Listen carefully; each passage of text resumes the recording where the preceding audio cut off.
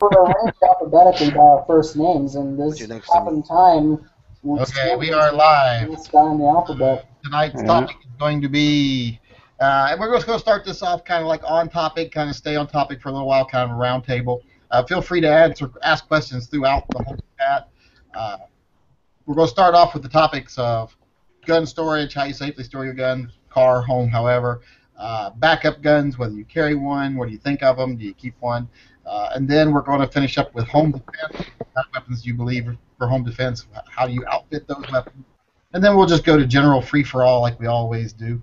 So uh, tonight we're just going to start off here by introducing everybody. Uh, you've seen most of us before. I'm the Yankee Marshal. I'm Mr. DB Cooper, 456. Eric here. And I'm David. Yankee Marshal is not my actual name, believe it or not. I'll well, be I, playing I the feel role bad of, about. oh, sorry. man. I'll be playing the role of Never Enough Ammo, but my actual name is the Hosia Simpson. Uh, my name is John. My YouTube channel is Chaos 311 Clarity. Edge, are you there, brother? Edge, yeah, I'm here. Edge 4006. And Stone Guy 223. Appreciate you guys tuning in tonight. Had a video in the background. there I was talking to myself. Yeah, now that yeah. we've got it uh, going here, I don't know if my chat is working tonight. Let's see. Um, I think it's Yeah, can you post a link if you have it? sort of right. I already did once, so I'll do it again here. Oh, wait, never mind. Is that it? There it is right Yeah. there in case you didn't Got see it. before. Got it, got it, Uh, got it. Thank you, sir. First thing we'll talk about is gun storage. I'm going to go through here and ask uh, each and every member of the panel, starting at the right over there with Stone Guy. We'll work our way left on the first question. How many different types of storage for guns do you have in your home, and what do you feel is the minimum required storage for guns? All right. Um, currently, I have one big safe. Um, that's a dial safe. It's an actual safe. It's not a gun cabinet. Um, I think that's important to differentiate the the two. Um, and then I've got another uh, smaller key safe. Like you could probably fit one or two pistols in that, uh, kind of as a as a travel safe. If I know I'm going out of town and staying at a a hotel or resort or something, I want to, you know, lock them up while I'm out. Um, and to me, I have kids. I've got a I've got a nine year old. Um, I, I think some some sort of safe or or lockbox or well hell even a even a gun cabinet even a fancy furniture type gun cabinet if if something's got a lock and key just to make it that much more difficult for your kids to get in that's that's my primary concern is is children. Um, I mean, if a, a burglar comes in your house, you know, they're they're going to find a way to get in, or they're just going to carry the damn thing off if they really want it. Uh, so I'm I'm thinking more of a, of a family factor. I think uh, you've got to have them locked away, and then on top of that, I ha- I have my my actual bedroom is dead bolted as well. I lock my door, so keep your wife out. well that too. You know. Or keep her in. Keep her in. Yeah, there you go, John. You. Didn't mean to whoa in the middle of your conversation there. For some reason, we went immediately from like 212 viewers down to 14 viewers in like in like one second. But then it shot right back up. So what I figure is when the chat went live, everybody refreshed to their page. at the Yeah, that's, time. I was that's like, usually what it happens. We're right back at. Yeah, that's a g- that's a good one. I have to try that. Whatever it takes, you know. Keep her in, keep her out. Play. I need one on our door because every time I'm having sex, someone will walk in and ruin it for me. I'm not sure how to respond to such a comment. Uh, what did is is Mavis Yeah, traumatized? yeah. I mean, what Well- you and Matt do on your own free time is none of our business. There you go. Yeah, I'm done. Well, Matt's gonna have to move to Washington with Yankee before they can marry. So Start another channel. Never enough sex. If Matt moves up here, I can legally marry him now here in the state of Washington. I think that's pretty much a given, right? Never enough sex, especially if you're married. Oh yeah, well, yeah, I can attest. well, this topic degenerated fast. Okay, back to topic. Back to topic. Um, I have a gun cabinet, kind of like a modular gun cabinet. You can, you can kind of fit it however you want. You can do 18 guns, or you can do uh, you can mess you know mix it up so you can put pistols, and that's how I got set up. Um, I don't on my house the way it's built. It's well, I guess they never thought about anybody putting a real gun safe or a real safe, a tall one. It can. So I don't. I think I put one upstairs, it'll probably fall through the damn to the floor and up downstairs anyway. So I'm looking into coming up with kind of solution. But either way, like Fallen Stone guy, what he said, um, agreeing with him on that is, yeah, you do got to lock them up some, with something. Um, to where you have one key and either the, another person you really trust or you have a key hidden somewhere that you pretty much know nobody can get to. And that way you have quick access to it in case you do lose your key. Uh, as far as secondary, there's nothing wrong with having a, maybe a safe somewhere else in the house. Keep, I like keeping ammunition separated from uh, the the guns. I believe in that. Um, that's pretty much me, man. Sorry. All right. Well, uh, me personally, I have a safe, and uh, I have filled it in quick fashion. Oh, hey, Bob's here. Hey, Bob. Um, yeah, I, I, I mean, I, I cuddle with my 870 every night. But no, seriously, yeah, I, it's, you know, I, I lock up as much as I can in the safe, but everything else generally stays really close to me. Hey guys, how's it going tonight? What's Good, up, man? Good. You know, everything's within at least a couple steps, if not arm's length, um, when they're not locked up. So I'm I'm good to go. Yeah, I just uh, I did just kind of spin off real quick. Um, the uh, I definitely definitely always keep a firearm, you know, either on me or, or next to me at all times. I never lock all your firearms up because I talked about that the other night. Even even when I'm sitting around the house in gym shorts, I got a little 380 in my pocket just because That's what she said. Yeah, because you know my my uh, my theory or, or thought process is you know, if I'm downstairs and someone kicks in your front door, yeah, you could have the best arsenal in the world upstairs, but the likelihood of you being able to retrieve that is slim to none. Well, so all I you think have to do is say, "Excuse me for one moment while I go get the gun." Yeah. Right. I mean, that's home logical. invaders. Well, else we all know home invaders don't mean you any harm, and they're good people at heart.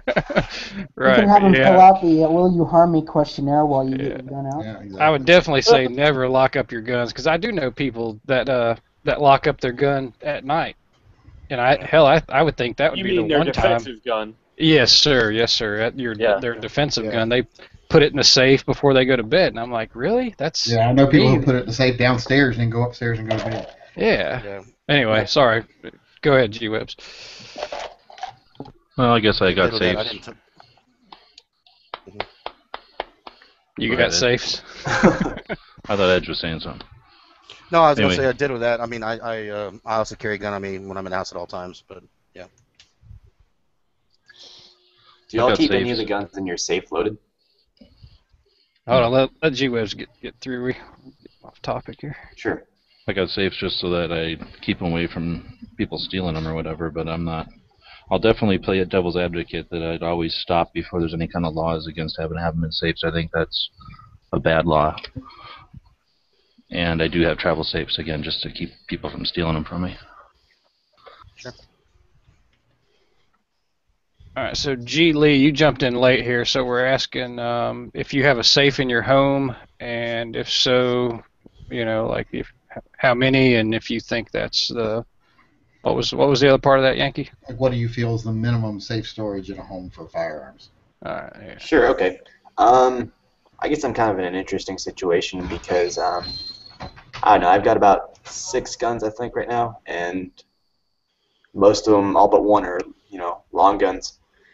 And you know, I live by myself right now, so I don't have a safe right now.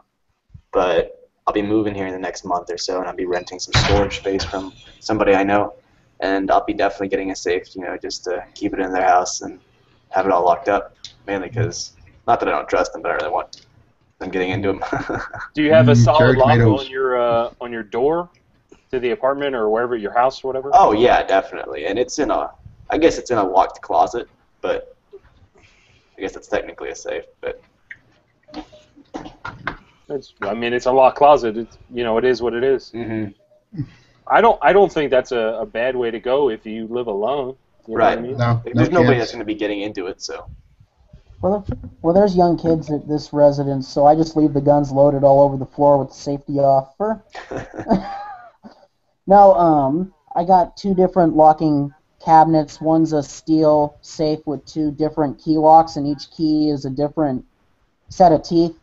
So there's a two key set to open it, and that's a steel one, and that's where the evil tactical and the high value guns go. And then kind of all the cheaper guns like the 22s and I think one of my air guns are in a wooden display cabinet like you'd see. You know, like what what is like what what are common in what used to be common in England, the wooden cabinets with a window in the front. I got one of those with a key lock that I store the rest in. As far as handguns, those pretty much just get stored in their hard cases with a padlock on them. I mean, a, a burglar is going to find a way to get your guns if they want your guns. My bigger concern is just making sure kids and people who aren't responsible with guns don't get a hold on them or at least can't just pick them up and play with them without anyone knowing. Mm-hmm. DB, you're up, man. Oh, okay. I was gonna say, um, about five years ago when I bought my first handgun, um, I just went to Home Depot and bought one of those Sentry fire safes, just whatever they had on sale there, and it was a combination. And for like a year or two, I had my I had two pistols in there. Um, and then I read that that is actually not a good idea because those things are filled with like moist uh, concrete.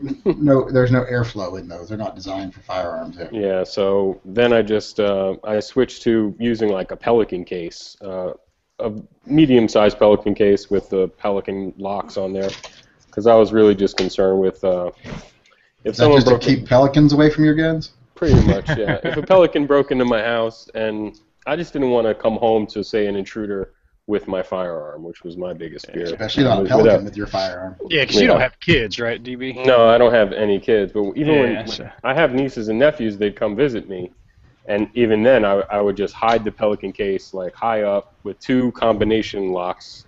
Um, Yeah. and, that, and I got away with that for a while, but I recently bought a safe because once I started, I got two long uh, firearms and I got a shotgun and the AR. I really started getting paranoid. There was nothing I could do. At one point, even I used to take the bolt out of my AR and put that in the safe, and like in the small Pelican safe. Um, but finally, I got a safe. I'm happy with it. It's a pretty cheap one, but um, it's at least 200 pounds, so no one's carrying it out. And like uh, most people say, a professional thief is going to get into your safe if they're um, they have a few minutes, you know, 10, 15 minutes. They might be able to get No, in there. definitely.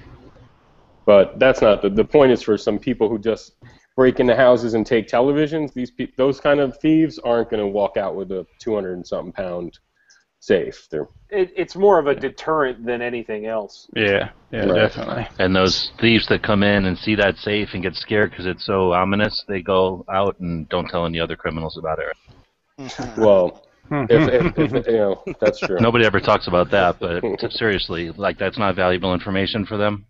They can tell that to Oh, somebody sure who knows how to bust into safes, Yep. or who it, doesn't want to just rip it through your wall. If you're letting people get in your house and get back out again, though, then your safe is the least of your concerns because that means you. Well, failed. but realistically, most people get robbed, not burglarized, right? Right. Yeah, and, and there is potential for stuff like that to happen when you're not around. Yeah, I was just thinking like mo- most of these um, home robberies here, they wait till you're if they're if they're gonna wait till you're home and do a home invasion, then yeah, they're not gonna be doing too well if I'm home. So uh, I'm just worried about if I'm not home. Most of these people just break in, steal some stuff like a television, a laptop. They're in and out within like 15 minutes. They're not spending a whole uh, you know hour in your house. If So- they're that loud, usually it's way less than 15 minutes even. Right. I mean, Yeah. I'd really have to be dealing with some some really good uh, safe crackers. I guess I'm not really worried about it. I'd say if you have a really, really big safe like Yankee and everyone breaks in and someone breaks in his house and recognizes it and knows he's got a bunch of guns, they may tell the professional safe crackers. Is a burglar going to bother to try to get more people to come back to your house if he thinks there's nothing of value in your safe? Like if you cover it with Yeah, Caltex it knows stickers? your That, arm. is, that has got to be almost one of the most ridiculous paranoid arguments I've ever heard in my life. That's like saying if you put locks on your doors, bad guys are going to figure out, hey, that guy's got got locks, so we should go break into his house. No, I can understand better if you're leave on locks off your doors. If, But, if, uh, if I was on vacation or something like that, like for a long time, may, maybe I'd be worried. But I'm, you know, I'm, I'm never home for like, I'm never not away from home for more than like five, six hours. I work from home, so. So That- we're going on vacation. Well, that's the thing. well, I that think I do once, once every five years. I'm on vacation. uh, the thing about that, I think that Yankee and I both have this this uh, deal where um, our actual home security system uh, has a contact on the safe. So not only is it an alarm going to go off if they break in the house, but then if they actually open that safe door, that sets off another contact to the alarm system.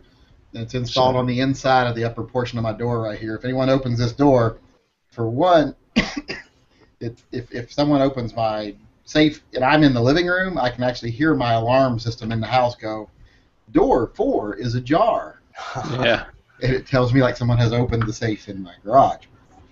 Yeah, I got I got a girl that goes front door open. Yeah. I think mine says when it opens this one, they didn't have a, you know, they have like pre-programmed names for things, and safe wasn't one of them. So there's one that says front door, one that says rear door, one that says window, lower window, and then this one just says door number four is ajar, or is open. That's what it says. Door number four is open. Yeah, I was going to say one other thing is I, you know, I have insurance from my house, and a, a friend of mine was like, "What do you care? Why are you so interested in buying a safe?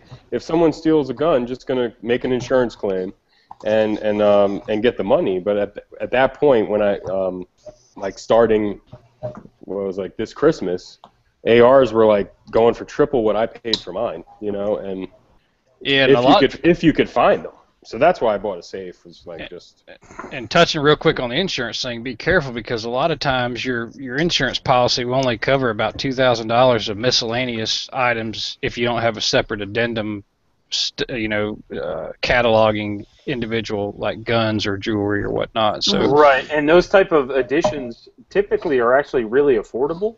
Cheap, yeah. Um, cheap. yeah, I mean, wait, under under like fifty bucks a month or something like that. Oh, Like, even less, cheap. even way Oh, less than yeah, that, way less. yeah. Probably Well, you know, it depends on the value you put on these things. For two hundred thousand dollars extra of coverage for my collectible stuff, including my guns, I pay an extra six dollars a month. Right, right. Yeah. So it's totally worth getting that. Yeah, I have the got mine through NRA. I have the NRA free policy on my guns, uh, which I got just because it's free, and I know they're not going to pay me back if I ever make a claim on it. So there's really no point in it. Yeah, they just get a chance to send you assloads more mail than they Yeah. already send you. And you get to carry another another card in your wallet, huh? That means nothing. All right, Yankee. So Well, everybody else a weighed in up to this point.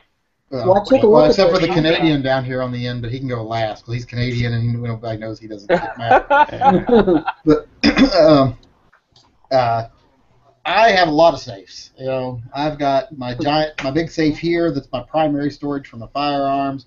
I've got a quick access safe in the wall in the family room right next to my couch.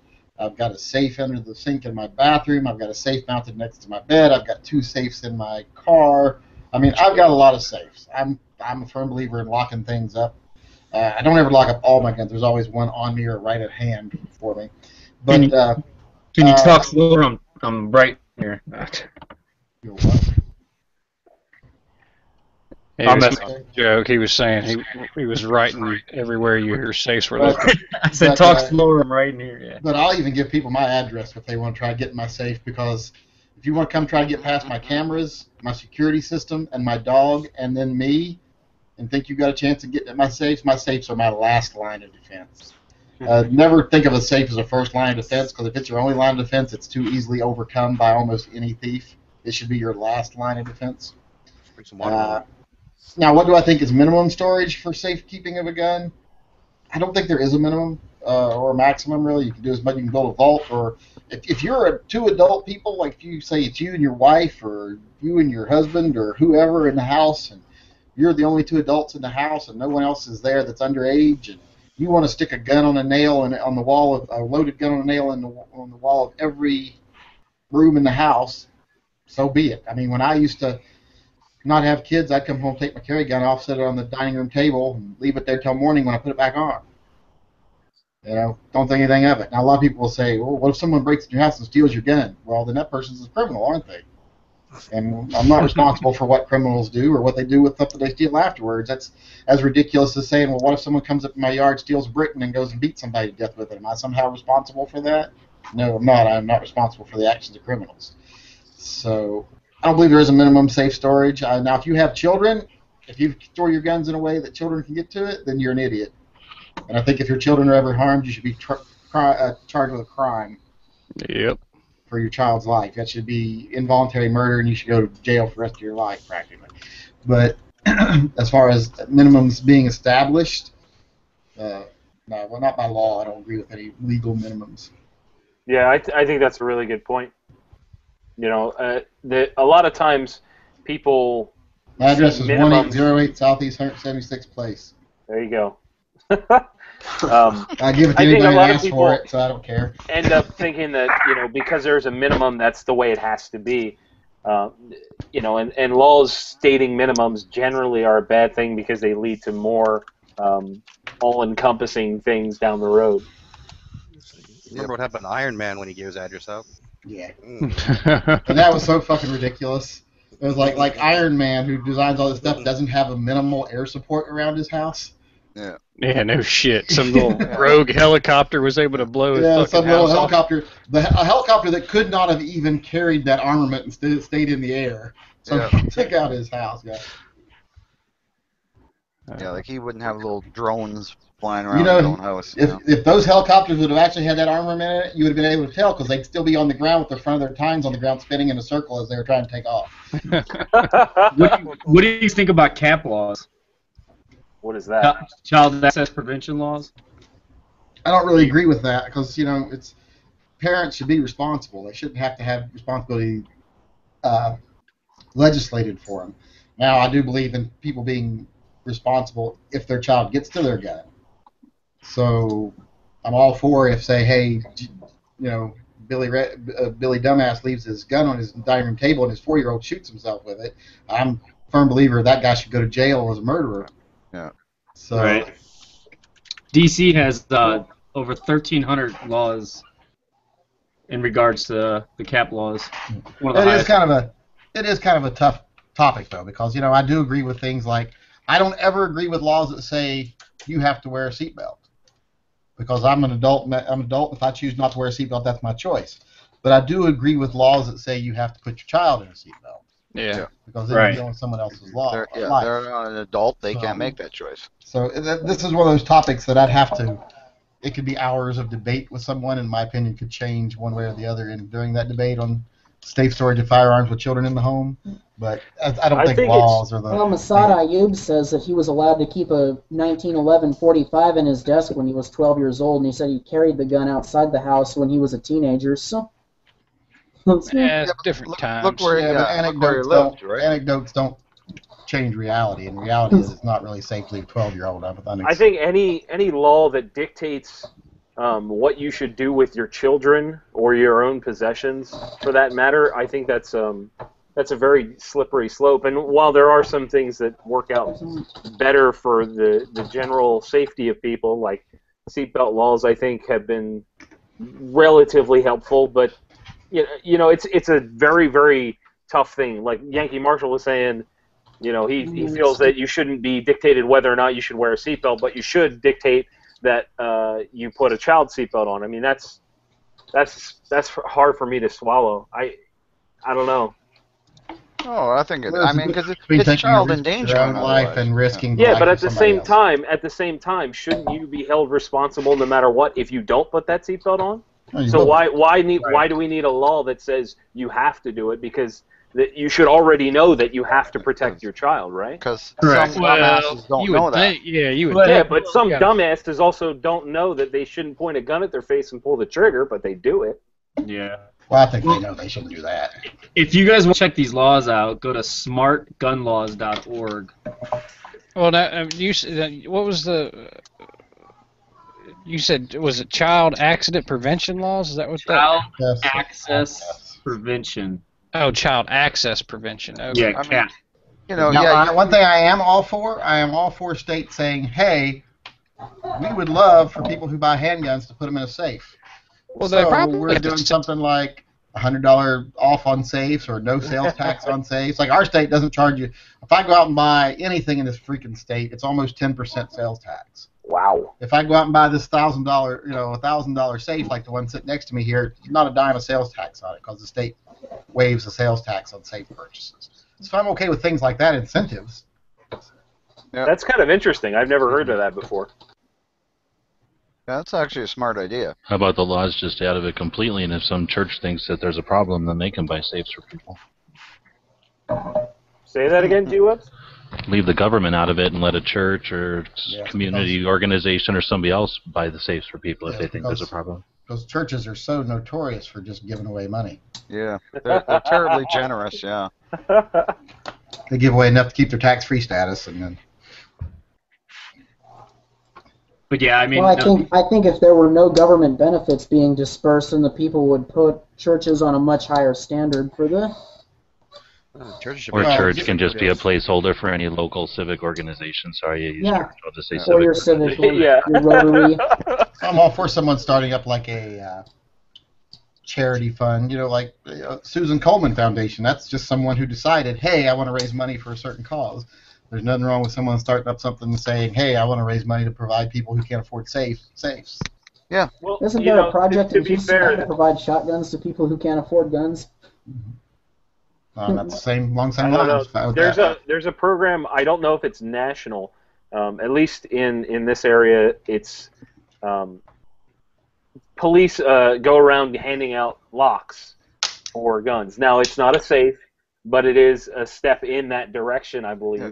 And, trigger- I think trigger locks are cheap. right. Generally, you can get one. Even most gun shops will just give you one if you ask it. Ask Oh for yeah, it. they just got 'em laying around. I mean, they, they got so many of them from used guns and stuff like the that. past like four firearms I bought came with one too. Right, right. They're they're uh, new firearms by law, law. have to come with it. I was about to say, isn't isn't that a law that if you ask for one, they have to give you one or something? Yeah. No, but it's a law that they No, come with like every they new come handgun. with one. Yeah. yeah, They come with one. Okay. I, I I know um, that Well, I I think was there's some told that here agreement between some states and the government about providing those. Someone's Oh asking God. who uses dehumidifiers in their safe. Uh, I do not use dehumidifiers. I use goldenrods, which I guess are a type of dehumidif- excuse me, dehumidifier. Left, uh, left right here. Starting well, Bob. Yeah, we'll start with Bob. Sure. Do you I, use a I use dehumidifier? I use yeah I use desiccant bags, so you can get really like the big desiccant bags. what size do you use and what size is your safe? Uh, they're actually fairly small. 14, 14 gun and an 8 gun. They're one pound bags, I guess. Wow. Okay. Are, is there any concern for you, like uh, having your guns dry out? Because I know if you get drop the moisture level too far, you can damage the wood on certain guns if it's not treated properly. Well, I haven't had a problem with it, but Okay. And I just use goldenrods. I use two. I use a big golden one at the front of my safe, then I have a smaller black one at the back of my safe to keep the air nice and toasty warm in there. And I've never ever had a moisture problem, and I live in a rainy climate, so Yeah, I have this um, something I bought from Midway. It's like a metal canister with like silica gel, whatever. It's some sort of blue Yes. beads in it. Oh, the ones that turn pink when they when they're done. Exactly, exactly. Yeah. And you can Yep. shove them in the oven. But I am, I was kind of scared. Like, wh- what if that thing is sucking moisture into my safe? You know, I don't know. Is that I, I have Like- heard stories of that, but um, that's more so with like the uh, like damp. Uh, what are they called? Like rid or something? oh like that, yeah, think I wouldn't, I wouldn't You know, do like that. those canisters because they collect water, whereas the uh, the silica gel tends to absorb it into the actual particulate. Yep. Yeah, Yeah, just a quick one on that DampRid. I bought a small bucket, like very small bucket like this. Yep. This I put it in my air conditioner closet uh, where my water heater is, and within like three or four days, there was like at least four cups of water just sitting at the bottom of it. So you definitely, definitely do do not put that in your safe because if it, if it collects moisture like that and just sits there, that can't be good. Yeah, that's definitely not a good thing. Yeah, with those uh, uh desiccant packets, you uh, another thing where one of the guys guys turned me on to was uh, throwing it into your car or your garage when you're gone. If it, you know, if it's not, you know, if it gets hot in there, just throw it in your car while you're at work. And in South Texas, it gets so hot enough you can bake cookies. So I don't see why I can't dry out the packets instead of wasting energy with the with the oven. Yep. Or, or That's a heating up neat the house idea. in the summer. Cool. Yeah, it's actually pretty good. And it works. I did it. Nah, so where we at? Eric. Mr. Eric. All I, don't use. I don't use any form of dehumidifier right now. All right. I'm going to say the same thing as well. There I mean, go. I don't know how much that's applicable to me since I don't have a safe, but he just keeps Desiccant packs in his pocket with his carry. he keeps it in the bottom of the holster. G Webs, I think you're up, brother. Global warming has put me in a desert, so I don't need it. Fair enough. There you go. Um, I uh, just picked up something similar to what uh, Yankee has. It's made by a different company called Lockdown. It's you know it's a, a sub brand of some conglomerate. Like the people that own Caldwell also own Lockdown. It its uh, purpose is not a dehumidifier, like he said. What it does is it actually raises the temperature within the safe, and that changes the relative humidity because uh, warmer air can uh, contain more moisture per uh, unit or whatever. Um, so that's what I went with. I have a relatively small safe, but uh, I didn't like the idea of having to maintain uh, desiccant uh, packets and things like that. Even though you can go a long time in between, I just I wanted something I could just put in there and leave for a while and, and not really have to worry about it. I hear that. Now, I do want to say one thing before we go any further here, and Edge will be next. But if you have those desiccant packs around, make sure you don't let your animals eat those. Those things kill dogs every year. Yep. They're, they're- those things are poison for dogs. I mean, they're not like poison poison, but they're bad. They kill dogs. The, the desiccant itself is not poisonous, but the they it, it smells sweet, so they eat it, and then it block gives them a bowel obstruction and kills them. So don't let them eat those things because they'll just swallow the whole package and then they'll, they'll get a bowel Right. obstruction and die.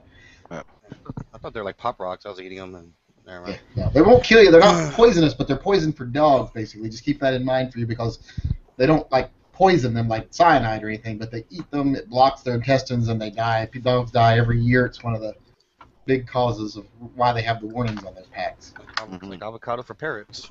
Yeah. All right. Um, yeah, I, I use the packs. Um, I got to probably I have to stack on ones that you can, um, you know, uh, reset them or re-energize them, whatever you want to call them, recharge them. And um, I got That- probably around six or seven of them. I use them in the, my ammo cans with my ammunition, and then I got some other ones. Uh, I'm in the IT business, so you tend to open a lot of hardware, and you get these big packets like in on the on the large server stuff. You get these huge packets, and they're just as good. And you grab those, and I have shit. I must have got like 20 in one job I did, and I have those in there spread all over the place, and I recharge them. You're saying, Cass? I'm sorry. Uh, I was I thought you were getting at the ones that uh, you plug into the wall after they get to like whatever point that they're full, so to speak.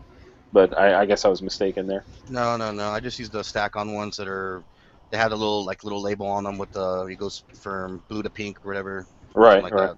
That. Okay. just recharge them. Uh, I am looking something a little more. Once I get the, the safe situation, I get a real safe and maybe something with the dry rods or or something a little more less maintenance. Right on. Yeah, I- I'm the same uh, same as you and DB. I've I, I got both the stack on with the little little you know paper packs that turn from blue to pink, and then I've got the little metal cans also.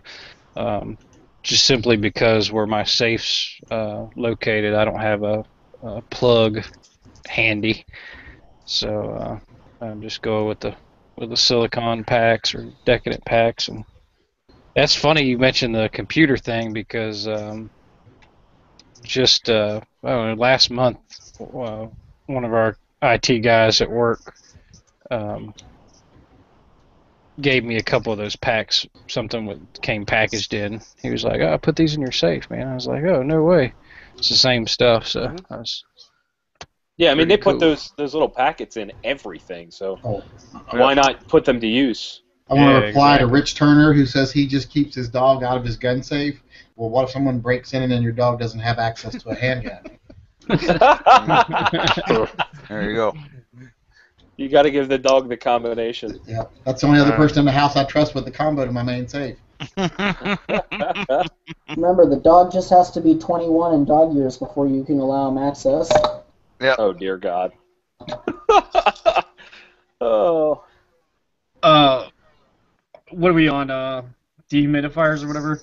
Yeah, yeah. Do, do you use a dehumidifier and uh, you know what kind and all that? Um, well, technically, right now I don't have a safe. Um, I do have a small little Sentry safe or whatever handgun, but it's mostly it's got all my paperwork in there. But um, so right now I just lock up firearms with uh, cable locks, and I only have uh, I'm down to two long guns now and one handgun. My That is depressing. My wife's an gunner, and I started off with like ten, nine firearms, and since I've been married to her, I'm down to three. But uh, so right now, yeah, I'm pretty much just uh, I keep them um, kind of close to the hot water heater. And this is something my grandfather taught me. If you keep near a hot water heater, uh, the warm air will circulate a little better. and It'll keep the moisture away from that spot. If that makes any sense. Like Well, it's drier that's- outside. As long as very it's a gas heater. Yeah. Yeah. That's very similar to the dehumidifier that Yankee and I have. Yeah, that's how that's how ours work. And my hot water heater is right next to my safe too. So Boom. I keep 'em- yeah right Double. there. There's a closet right there, so that's where I keep them in my master bedroom. Now, someone in the chat just asked, uh, who was it asked it? Uh, artillery asked if safes are so airtight they need a dehumidifier.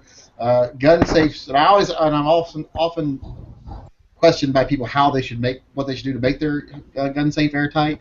That's what you don't want. You want air to be able to flow. You want the cooler, moisture air to be able to flow out of the safe.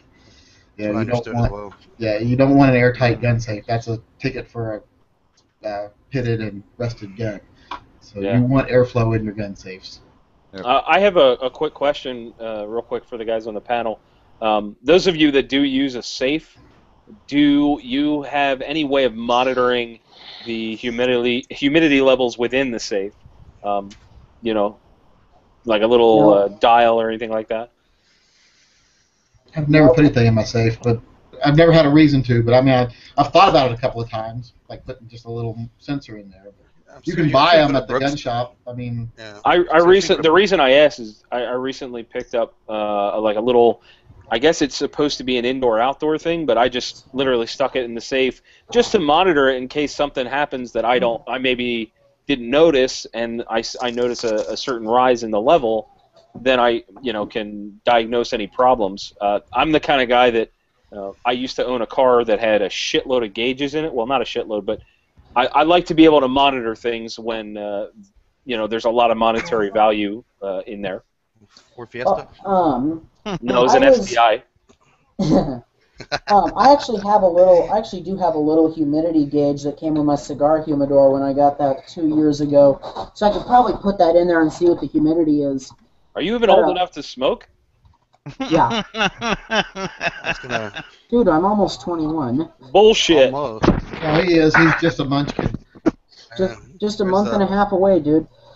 As far as storage of handguns, one of the things that I thought was interesting here that might be interesting for protecting your gun from humidity if you don't have the dehumidifiers. There's an older guy I know who's a friend of mine, and he used to work for the U.S. Merchant Marine, and they kept guns stored aboard ship for security when they were at foreign ports. And he said that just because of the salt water that flowed through, salty air that flowed through all the portions of the ship, when they were working with the oily parts of the vessel, like changing the oil and stuff in the vessel, they would keep the oil rags and then wrap the 1911s they kept on the ship in the oily rags, and then put them in their storage lockers wrapped up in oil rags. And he said that kept all the moisture off of them for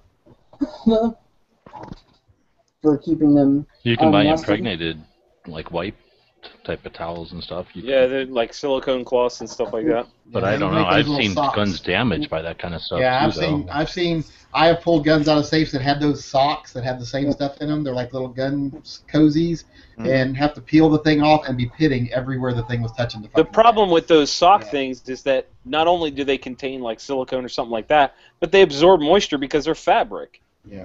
So it just glues that stuff to the gun. So my Yeah, but opinion on else? those things, wrapping a gun in anything, don't wrap your gun in anything. And the gun is embarrassed being in there, and it gets depressed, and it has no reason to live, so it withers away.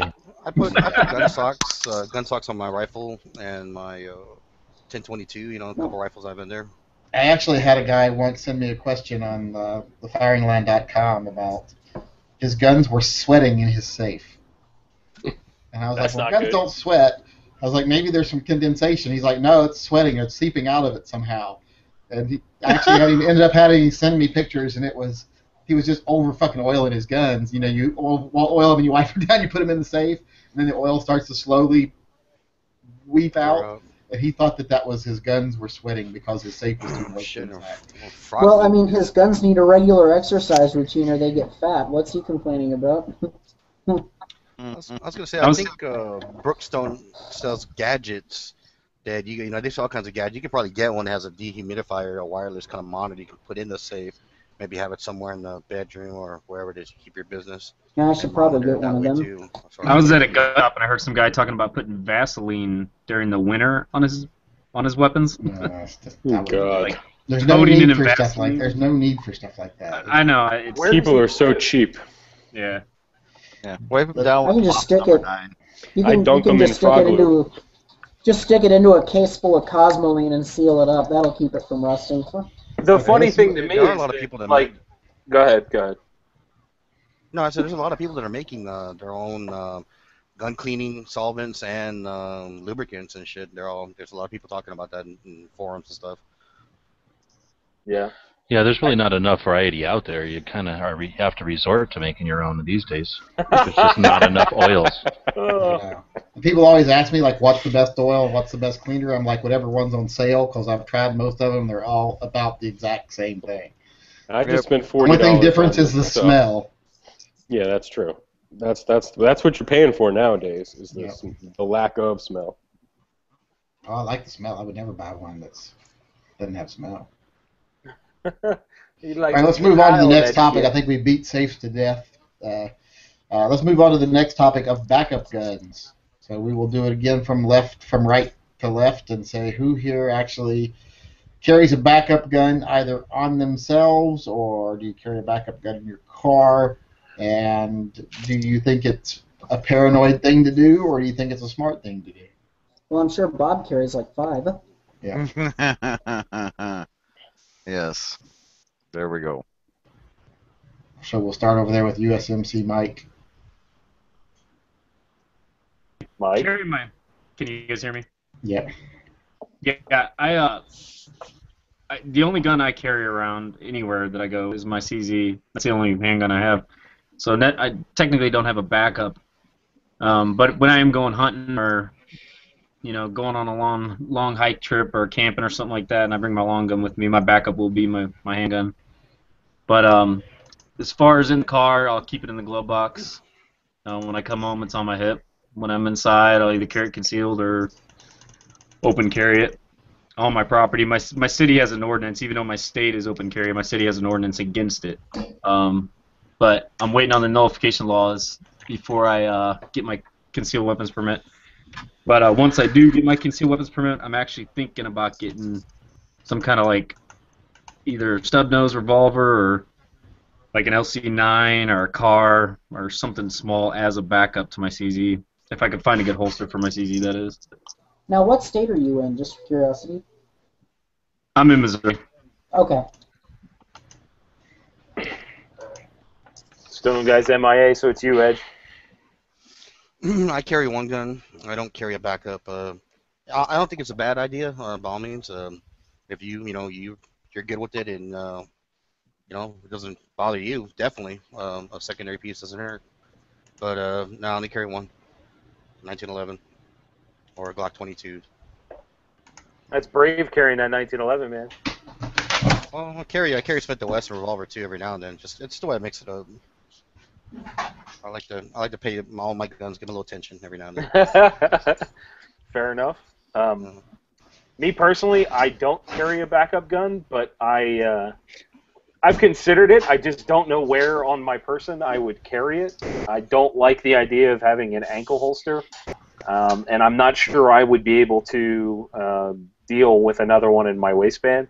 I'm already you know stretching the limits of gear and stuff like that. Like you know I'm a big dude, so it's it's not. Uh, I, I either have to buy bigger pants if I stick another gun in my pants, or you know find another way to carry it. And I don't I don't like pocket carry. I don't think that I, I'd be okay with an ankle holster. So right now I'm just carrying one. G Webs, do you carry a backup? I believe you do, right? Oh yeah, yeah. I carry a backup revolver all the time now. Sometimes more than that, and then I usually have one in the bag with some extra Where- mags. Where on you do you carry that uh, revolver? Ankle or? That's I a like personal pocket. question. Yeah, I like my pockets, but I know a lot of guys that carry ankle. I would look into it because you basically the nice thing about ankles, especially if you have a job where holsters are an issue at all, is that you almost always wear pants for business, for work and stuff, and Right. you just get you know it's not that big a thing to have a small pistol on one side and you can off balance it with something else on the other side, like a mag or a tourniquet or something. I guess if you find one that's light enough, it wouldn't be really an issue. Just feel like a bigger socket or something like that. See, I like the kind that are sort of like a mouse pad material or like a wetsuit material. They're really Okay. nothing to them. Whatever that Yeah. material's called, neoprene or what? Neoprene. Yeah. right? But some people think those are. But I keep my little uh, ultralight in there. But I've even kept a, uh 27 in there. But anyway, uh, I know guys that like the. I forget what brand they are, DeSantis or somebody. Whoever makes the one with the big sheepskin pad, and to me, it looks bulkier than the dang gun.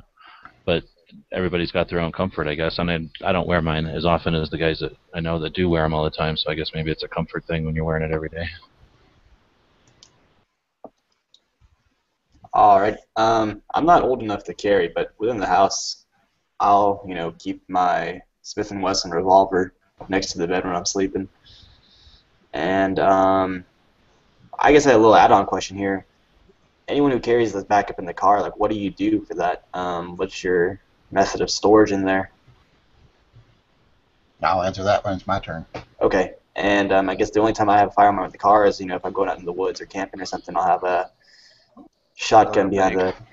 office. You go to. go I usually keep office. my car gun in a bag, so I have it in the car, and then if I need to, I can just drag it with me wherever I Mm. need to go. okay. That's kind of weird because I'm not I'm not 21 yet, but every state around my state, Idaho, Montana, Oregon, will allow an 18-year-old at least to open carry without a license. But Washington says you got to be 21. So whenever I'm out of state, I carry, and when I carry, it's just my single Model 10 revolver. I don't carry a backup. I don't even own a second handgun, so I couldn't carry a backup even if I wanted to. But if I own one, I don't know if I would, just because it's a lot of uh, it's some extra weight and extra hassle for something that you might or not likely at all to need. But what's the you know anyone else can do what they want. I'm just saying I don't see the need for me personally to carry more than one gun when I do carry. Hey, Eric, what length barrel do you have on that Model 10? Five inch. Okay. I was going to say, I usually um, only carry one gun, and I just started carrying a backup magazine. But when I bought this um, this summer, like around uh, June, I bought the North American Arms, the Mini Mag revolver. And sometimes, like, um, if I'm going out, like, at night to, uh, like, Gay bar. Walmart or whatever. yeah. It's just too much. This has been my primary all. This has been my primary all summer. So this is this is like most people's backup guns. I'm only saying that because I'm pretty sure I saw him there last weekend.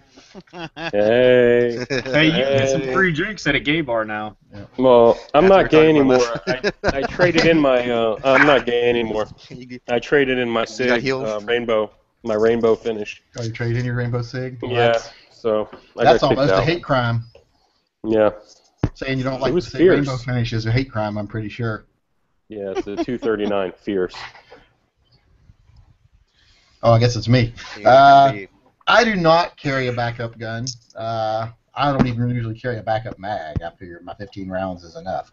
But uh, I, I don't ever see a problem with carrying a backup gun. I don't think it's paranoid because you know the way I look at it is carrying one gun could be easily considered paranoid.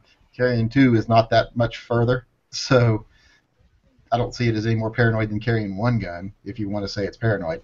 Uh, I do carry a backup in the car, mainly in case I forget my everyday carry, which I just did the other day. I went out of the house with no gun on, had to slip my backup gun in in my waistband. Did you feel naked temporarily? Yes, I did. When you realize there's always that feeling when you're driving along and you're like, oh crap, I forgot my gun. But with me, it's usually I have an empty holster where I've gotten up in the morning, put my holster on, and didn't put the gun in it. And I got a left right if we get to the end of this one. Okay. Uh, and in the car, I keep, like I say, I keep safes mounted. I have videos on how I mount them in the car. I've got a safe that's just for a long-term storage of my backup gun, and then I have another safe under the seat, which is just a cable lock safe, which is in case I ever have to take my gun out, like when I had to go to the courthouse the other day, take my gun out and put it in the little safe, lock it up. And if you want to have funny looks at the courthouse, have them do the pat down on you and have an empty holster on you. They ask Yeah, a lot of questions. they're one for the X, one for the X-ray machine. Yeah. So they're like, "What is this?" I'm like, "Well, that's my holster." They're like, "You have a gun on you?" I'm like, "Well, it would be in my holster if I did, wouldn't it?" I was like, "It's in the car in a safe." And he's like, "Oh, okay." Hey Yankee, is your backup gun the same as your everyday carry? No, my backup gun's something that's easy to carry. My backup gun is a little Smith and Wesson lightweight revolver, very similar to what you bought as your first gun, I do believe. Okay. And uh, it's in a Nate Squared tactical holster because you know you never know what you're going to be wearing when you forget your gun. So that Nate Squared tactical, I could put it in if I had gym shorts on, I could wear it. Hmm. You know, so If I could carry a, a gun, I would carry a backup. Like something, you know, a little automatic I could stick in a wallet holster or something.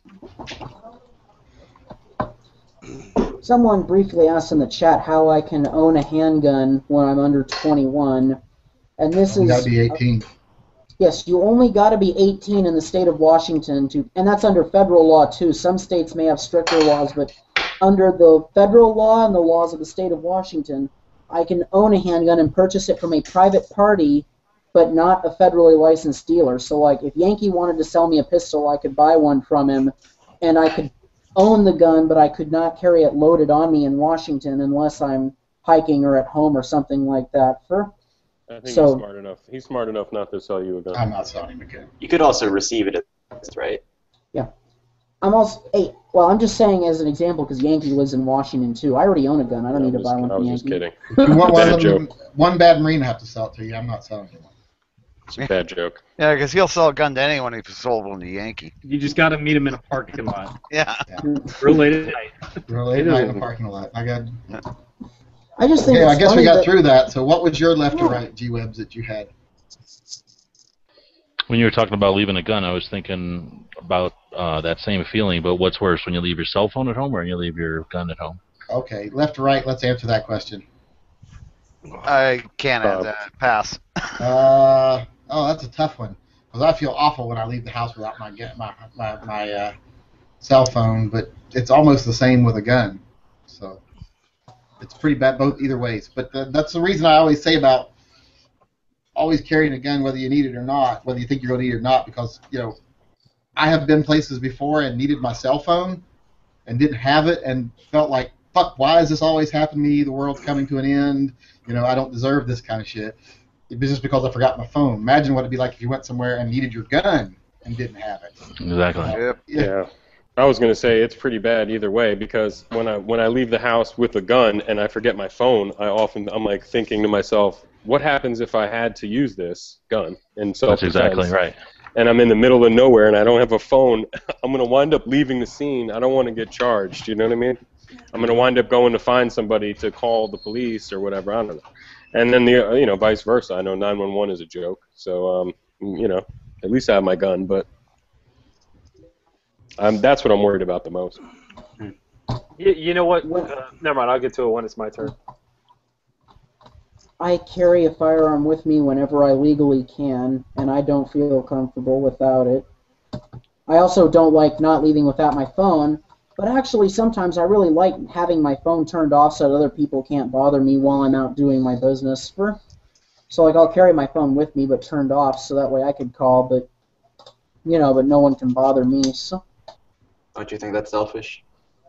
very. um, I guess I'm not all that attached to my cell phone.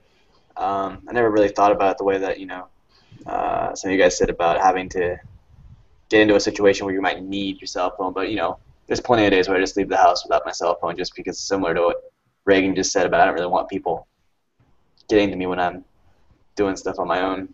But um, yeah, that's just what I have to say. Well, the short answer is the phone, because I'll turn around and go get a phone. I'll figure, you know, I've only forgot my gun a couple of times, but I don't turn around and go get a gun. I will turn around and go get a phone. Yeah, for me, um, I don't leave the house without a phone. If I do, I will, like G Web said, I will spin around and go get it.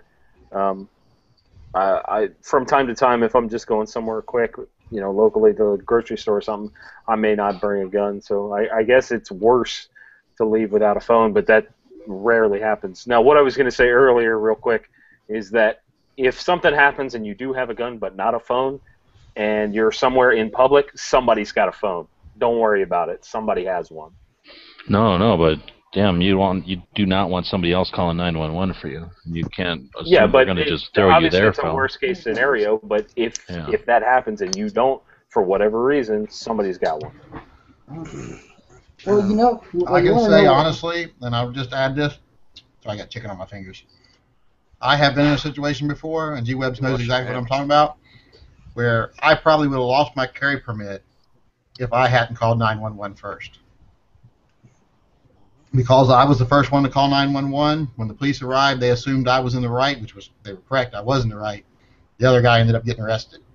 So having your phone is very tactical. There's a very tactical reason to have your phone with you too.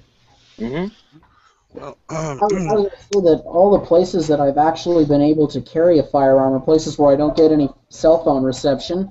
It's like I spent a week in Montana just about a month ago, and I spent that whole week open carrying everywhere, and it's like everywhere outside of the town of Polson where I was staying, like outside the city limits, I couldn't even get a cell phone bar.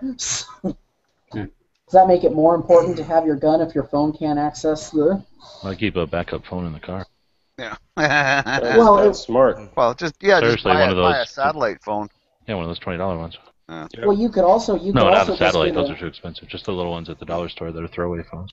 Yeah, well, you could also get yeah, like the prepaid cell phone, like G-Web said, because it'll call 911. You know, it'll access 911 when you call those numbers. Yeah, with long a car charger, it doesn't even matter if it goes dead in the glove box. Yep, yep, yep. Okay. That's good. That's a good thought.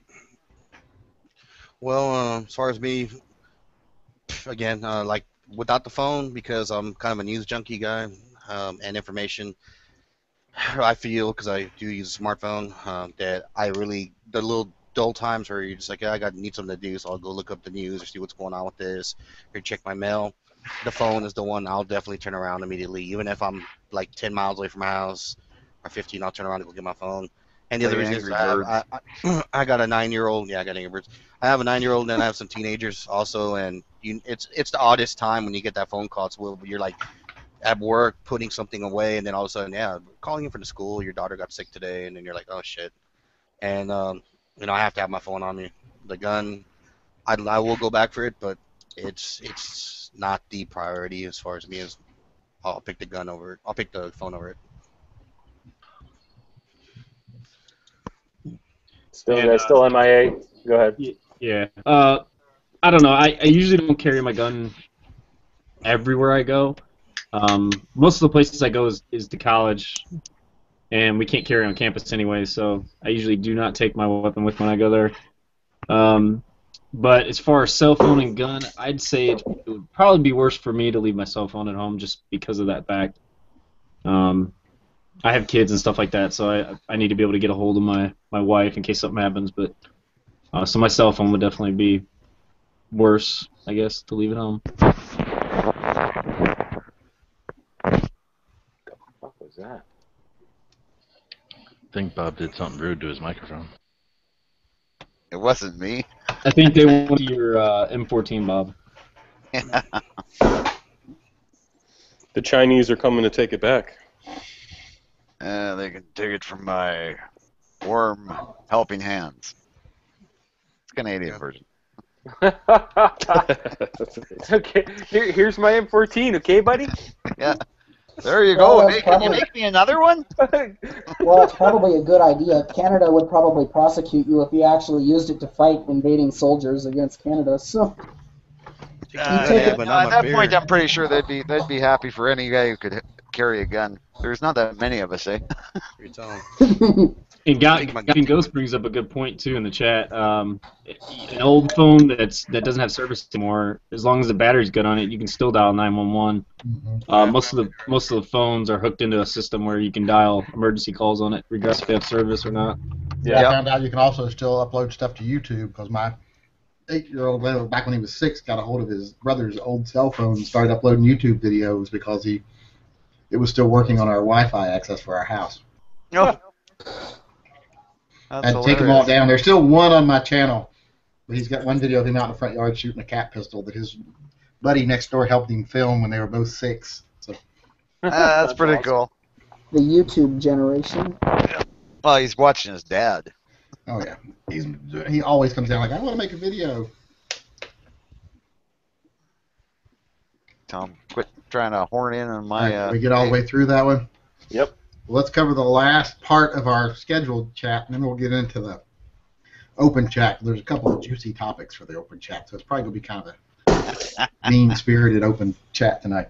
But uh, the next topic is home defense. There's going to be two main questions. First question is we're just going to go through quickly and say, what is your preferred gun for home defense? We'll start with Bob. 12 gauge shotgun. Pump or semi-automatic, either one. My home defense weapon is. Why did my thing go? Okay. My uh, home defense weapon is a uh, high capacity 9mm pistol, a PX4 Storm.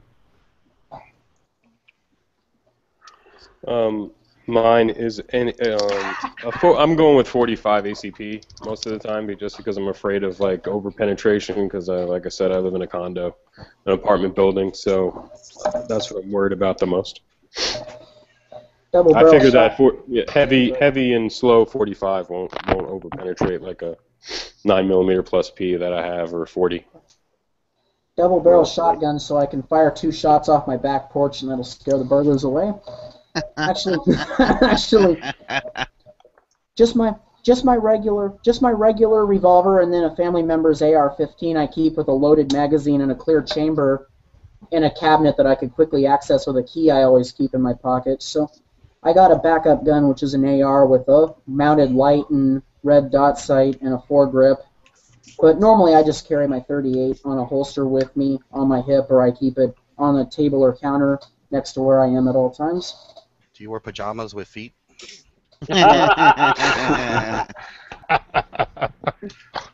Pajamas, I grew out of that years ago. Okay. Just Like last year. he said years. It was the year before. He finally grew out of them, but unfortunately, they were the ones his mom bought him when he was six. oh, that's just mean. Uh, It's Like funny, with but it's sweaty feet. Uh, sweaty feet in the morning. It's bad. Ugh. Where did we get to here? Who's next? That's Uh, me we're, right we're now. on to bird guy. Yeah. Pigeon. Um, I guess I use a 12 gauge pump, um, Remington, eight- Remington 870, but it's kind of unwieldy because it's got the 28 inch, you know, field barrel on it. So I'll Jesus be. Christ. You Get a hacksaw, gotta- brother. yeah, get a hacksaw, man. You guys Um, can just use a hacksaw on yours. I have to take it to a gunsmith to get that done. you have to. It's required by law, Mm-hmm. even if you take it down to the legal limit. Mm-hmm. Is that for any modifications or? Mm-hmm. Wow. Oh yeah, it sucks, man. Um, but yeah, I'd like to switch over to some sort of some uh, handgun. I guess right now all I have is that revolver, but you know, it's a lot more maneuverable. Glock or an AK, depending on the situation. Uh, I have an HK45 or an 870 12 gauge Marine Magnum. Um, all right. Um, I kind of spin it between Glock 22 or 1911. Um, the 12 gauge is cool. I like having it, but uh, I don't have it ready all the time. I'm it's not that far away, but uh, I like using handguns. for that for that purpose. So was the question home defense weapon? I missed the question. Yeah, it was what what do you use for home defense? Uh, well, my my primary would my Glock 19 is what I you know keep on me or near me. Um, if I have time to make it to the safe, um, I'm either gonna pull out the AR or the 12 gauge. I got a Remington 870 Police Magnum. So either one, depending on how I feel. Yeah, for me, it uh, it's it's gonna be my CZ75 currently in my 40. That's pretty much the only non-over penetrating uh, option I have. I have kids in the house, house, so uh, I, I don't think a, a buckshot would be a great option, um, especially because I have five kids. But uh, if you don't, if you don't think buckshot's a good idea, why do you think a 40 is a good idea? Yeah, no shit. well, the reason because I'm not trying to be a dick, but I No, mean, no. they're, they're going You- through walls. oh, you don't have to try. Well, the 40 Smith and Wesson was designed to be short and wimpy. Obviously, it was a Smith and Wesson No, cartridge. that designed a misnomer. Well, okay.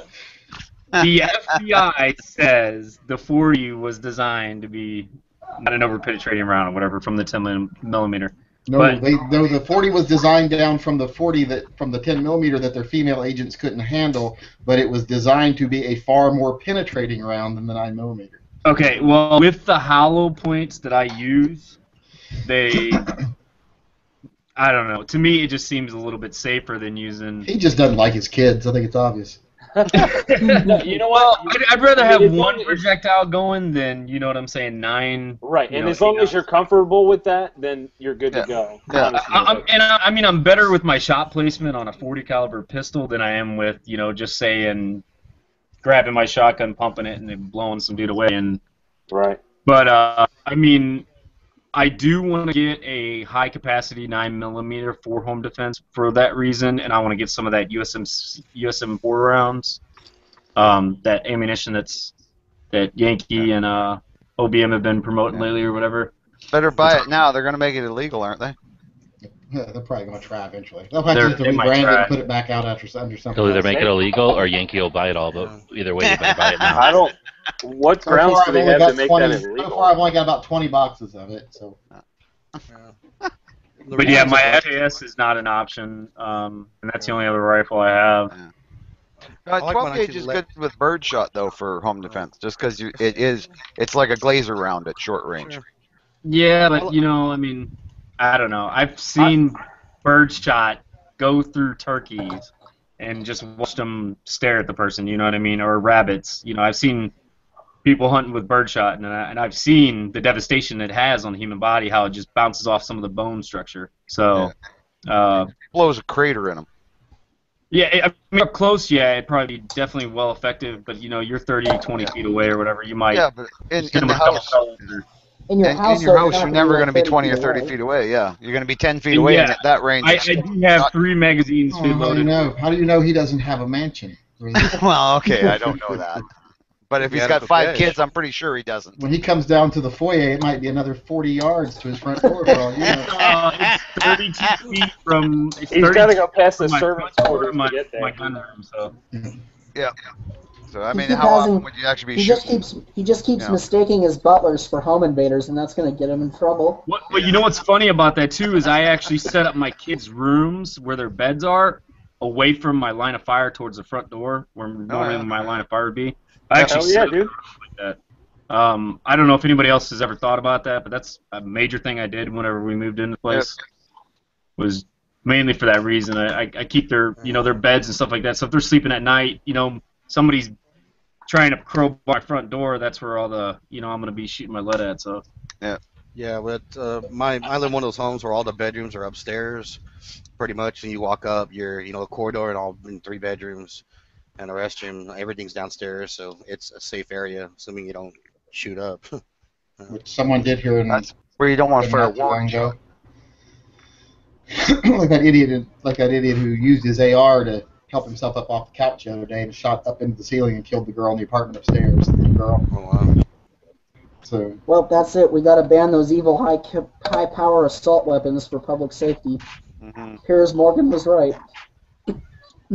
Was that in your your state, Yankee? I think it was. I'm not sure, but I think it was in. I thought it was in Oregon. Oregon. Does Yeah, anybody in live in Oregon. a s- Does anybody live in a state that has a duty to retreat even out of your own home? No. Do, do one of those exist? Yes. Yes. Isn't that New Jersey and New York? Yeah, that's Only not something even like 35 not- states have it. So not even means most of Canada has don't. that. Not even Canada has the you know that you They'll have to retreat out of your home. Some just states by prosecute. They'll some just states by absence by absence of law that say that you do not have the duty to retreat, they do assume that you have a duty to retreat if at all possible. So Right. Not It's sure not that there's a law Canada- saying you have to retreat. It's just that they will charge you as a criminal when you defend yourself, and then you have to prove that you're innocent or that you're acting in self-defense. You're basically a, a murderer being tried as a murderer until you can prove it was self-defense in those states. I was gonna say with Bob, he brought up um, Canada, and I was following the case of uh, what was his name, Ian Thomson. Are you familiar with that at all, Bob? Uh, is that the guy that the, the, they tried to firebomb his house? Yeah, some people tried to firebomb Yeah, his house, yeah, and he yeah. fired at him with a revolver, and because I no, thought he fired at him with a shotgun. He, fi- uh, he didn't fire at them. He fired a warning shot, and uh, yeah, they tried to arrest him for uh, improper uh, storage of a firearm and stuff. But I mean, that's what I heard was that Yeah. the uh, court dismissed the charge of you know shooting to defend his home, but then the prosecutors tried to argue he didn't store his gun properly because he had time Yeah. to get it out and load it or something. Yeah, well, yeah, they they threw that out too because in Canada it is legal to like have a gun sitting on your kitchen table. That's that's fine, you know, as long as uh, there aren't children around and as long as the the ammunition isn't sitting in it. You can't have it sitting loaded, but you can have the ammunition in a in a you know a locked cupboard or something. So if you have a Canada legal AR-15 with a five-round magazine loaded in your back pocket, you can carry the rifle around your house, and then Uh, no, you can't carry the, the you can't carry the uh, ammo with you unless you're out going hunting. no, okay. But if you do get, you know, somebody, oh, somebody's trying to kick in my door, you can run to your to your cabinet and unlock it, take your five rounds out or whatever. As you're See- yelling, wait a minute. Well, yeah, exactly. But I mean, the thing is that uh, see, the nice thing about shotguns in Canada is they're not limited to five rounds, because apparently they're not as dangerous as a rifle. Well, when we go hunting here, you have to have a you have to have a banana plug in there, a plug that limits it to three. You can take the plug out when you got it at the house. Yeah. Oh yeah, with shotguns, yep, same thing here. You're out in Nevada, you gotta have that plug in there. You get caught, it's a hefty little fine they give you. Yep. I want to I want to make a comment on some on a comment someone made here. Is not going to be a left or right. Everybody can just weigh in as they see fit. Uh, when the Pennant says, "I wish people would stop worrying about over penetration." Now, generally, I agree with that. Now, I don't agree if I'm shooting at someone in the hallway and my kids are on the other side of a wall. But one of the things that really bothers me a lot is people worry about like in their carry guns and stuff over penetration. Over penetration is to me one of the most statistically unlikely things to be a factor. That if you're limiting your ability to defend yourself over the to to uh, defend yourself well over the fear of over penetrating, then you are handicapping yourself for no reason. You might as well decide, well, I'm only going to carry ammo, you know, that uh, can survive meteor impacts if someone drops a meteor on me, because that's about the kind of thing you're worried about. It's I've seldomly ever seen cases of over penetration being a problem. I've seen cases where there's there was a case here locally where someone shot a guy in a car, shot through his neck, hit the girl next to him in the head. The bullet didn't even penetrate her skull, or it barely broke the skin. You know, so it slowed the bullet down that much. But it's just one of those things people worry about that's not really a factor, if you ask me. What do you feel uh, in that same regard? How do you feel about um, penetration depth? Now, I, I know the quote-unquote FBI standard is 12 inches on ballistics tests. Do you feel that that's a, a justified thing? Anybody well, if it's good enough for the FBI, it's probably good enough for the average concealed carry citizen. Well, I, I always wondered about that. That's a good. I'm glad you brought that up, chaos. Because uh, I mean, if you if you think about it, the average the average torso is way less than 12 inches in, in depth. Well, not You know. everybody's. Some well, I know. I said, some I people said are the more than average. 12 inches, yeah. Well, I said the average. Yeah, I mean, okay. Well, I mean, average, my, average, my main you know, question is where the average hell did that Ethiopian, number come average from? American. Well, that's what I've wondered because it seems to me that if 12 inches is a standard average, that And a would ballistic gel, medium. going right through. Right, it. right, right. That's that's what my question, G Webs, is where did the 12 inches come for that particular test? Because I know that they have to equate in bone and different densities of uh, tissue within the human body um, or you know maybe animal or whatever for ballistics testing, why is it a standard of 12 inches for ballistics gel medium? I don't. I just, I just don't know. Well, I mean, if anyone's ever shot up, you know, a it's an old beef or pork carcass or whatever, Are you'll you asking notice why that- the FBI needs to require that, or why just in No, general? no. Like why?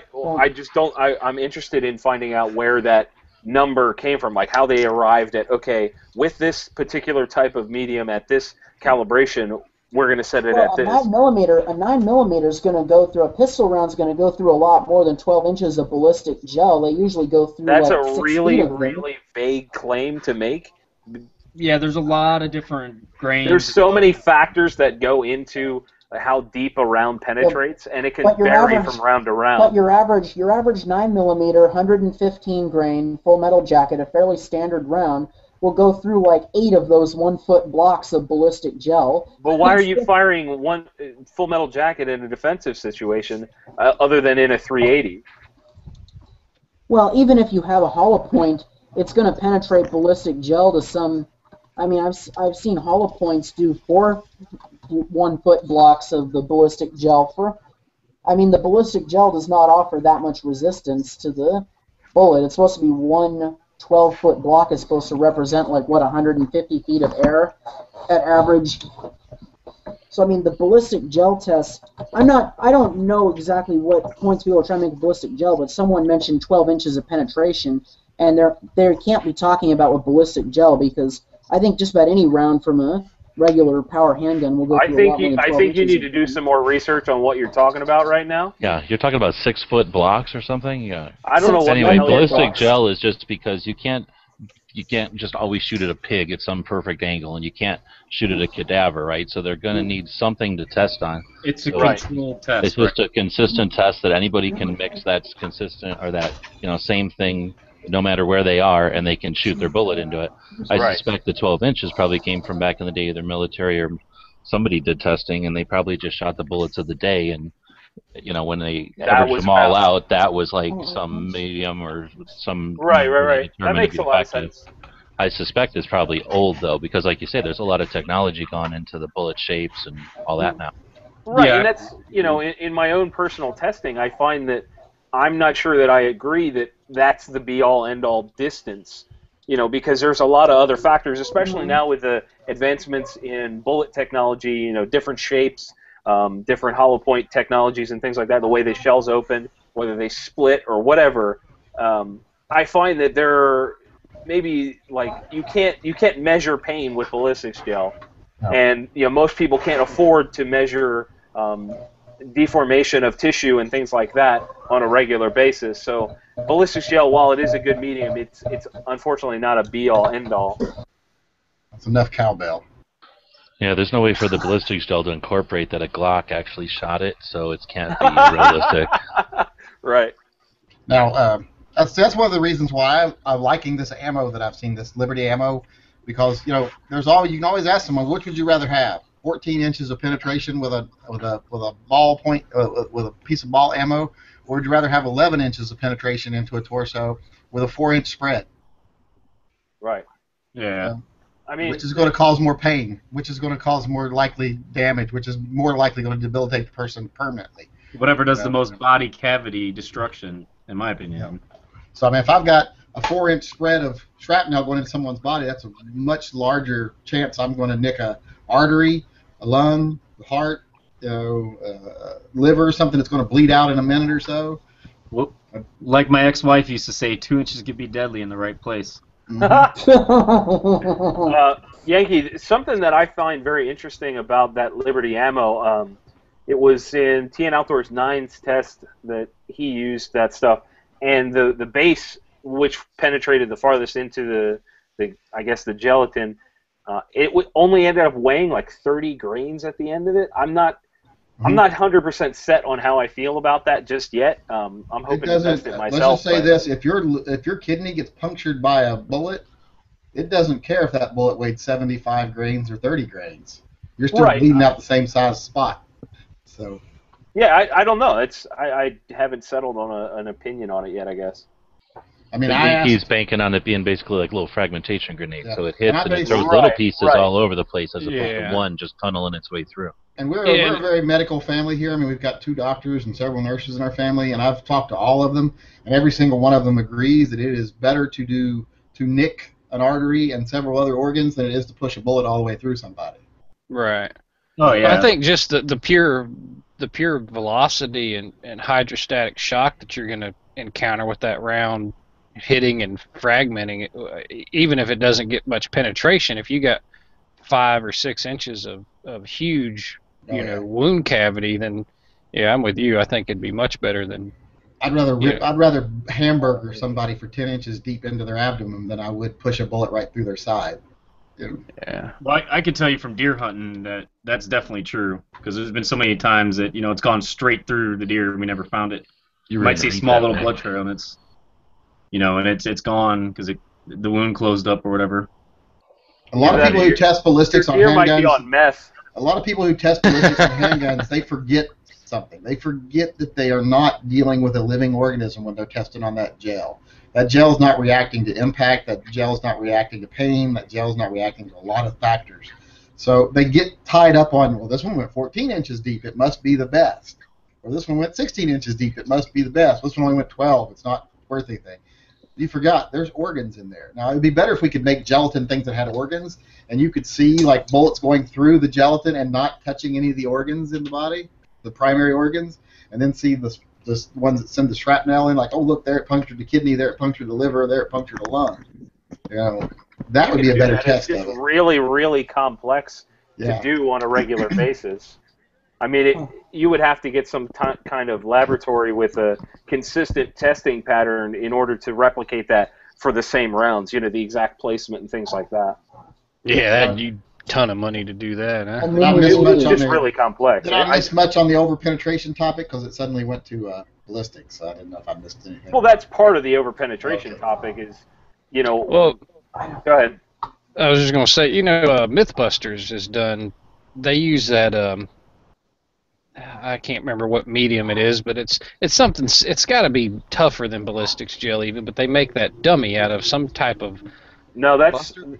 Buster? It, yeah, the it depends on what test they're doing. If they're shooting it, they're using ballistics gel. Okay. If they're doing something else, like um, like they put bones in it and they're doing like a bone break thing, Yeah. typically it's a little Yeah. bit denser See, I material. like to something Yeah, like that. What's that that? what's that dummy they use on that show where they Buster? Like, like they know they where they come back where they pit like ninjas versus Oh, gang members Warrior. or whatever. Ultimate it's- Warrior. Yeah, Ultimate Warrior or My son watches that. They've always got that dummy made of like gelatin that has bones Yeah. and everything else. He has blood. He has blood and shit. Yeah, running through it's his blood. Nah, that would be cool. But yeah, if they could do something like what MythBusters has with that little bit more dense material, and then because they got the mold, and they you know they could mold it and just put the organs, you know, in you know anatomically correct, and then pour that stuff in, and they could replicate five or six of them. Fortune. That would be pretty like some cool. expensive stuff though. That those uh, stuff they use on that show, that Warrior show.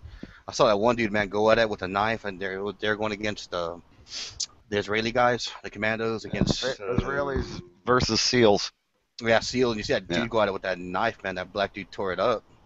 Like, Yeah, Christ, that was with a, a lock blade. That wasn't even a. Uh, yeah, yeah, Yeah. folding. It was a Folding folding knife. knife. That's yeah. a brown guy to uh, Biker Bob there. Someone asked Yeah. me why don't I switch to a 45 and have he a wasn't bigger near round black. if what I said was true about the spread. All right. Okay, it's quiet now. Uh, 45. If you hold a 45 next to it, you're statistically looking at not much of a bigger space. Especially if that 45 doesn't expand as well because it's moving slower. I would rather have a faster moving round like a 9mm that expanded and, and even fragmented better than I would the slower moving 45 that may not as expand. Plus capacity. Okay. 45, you, Eric, mute yourself when you're not talking. It's either cowbells or baby talk. One or the other. I am muted.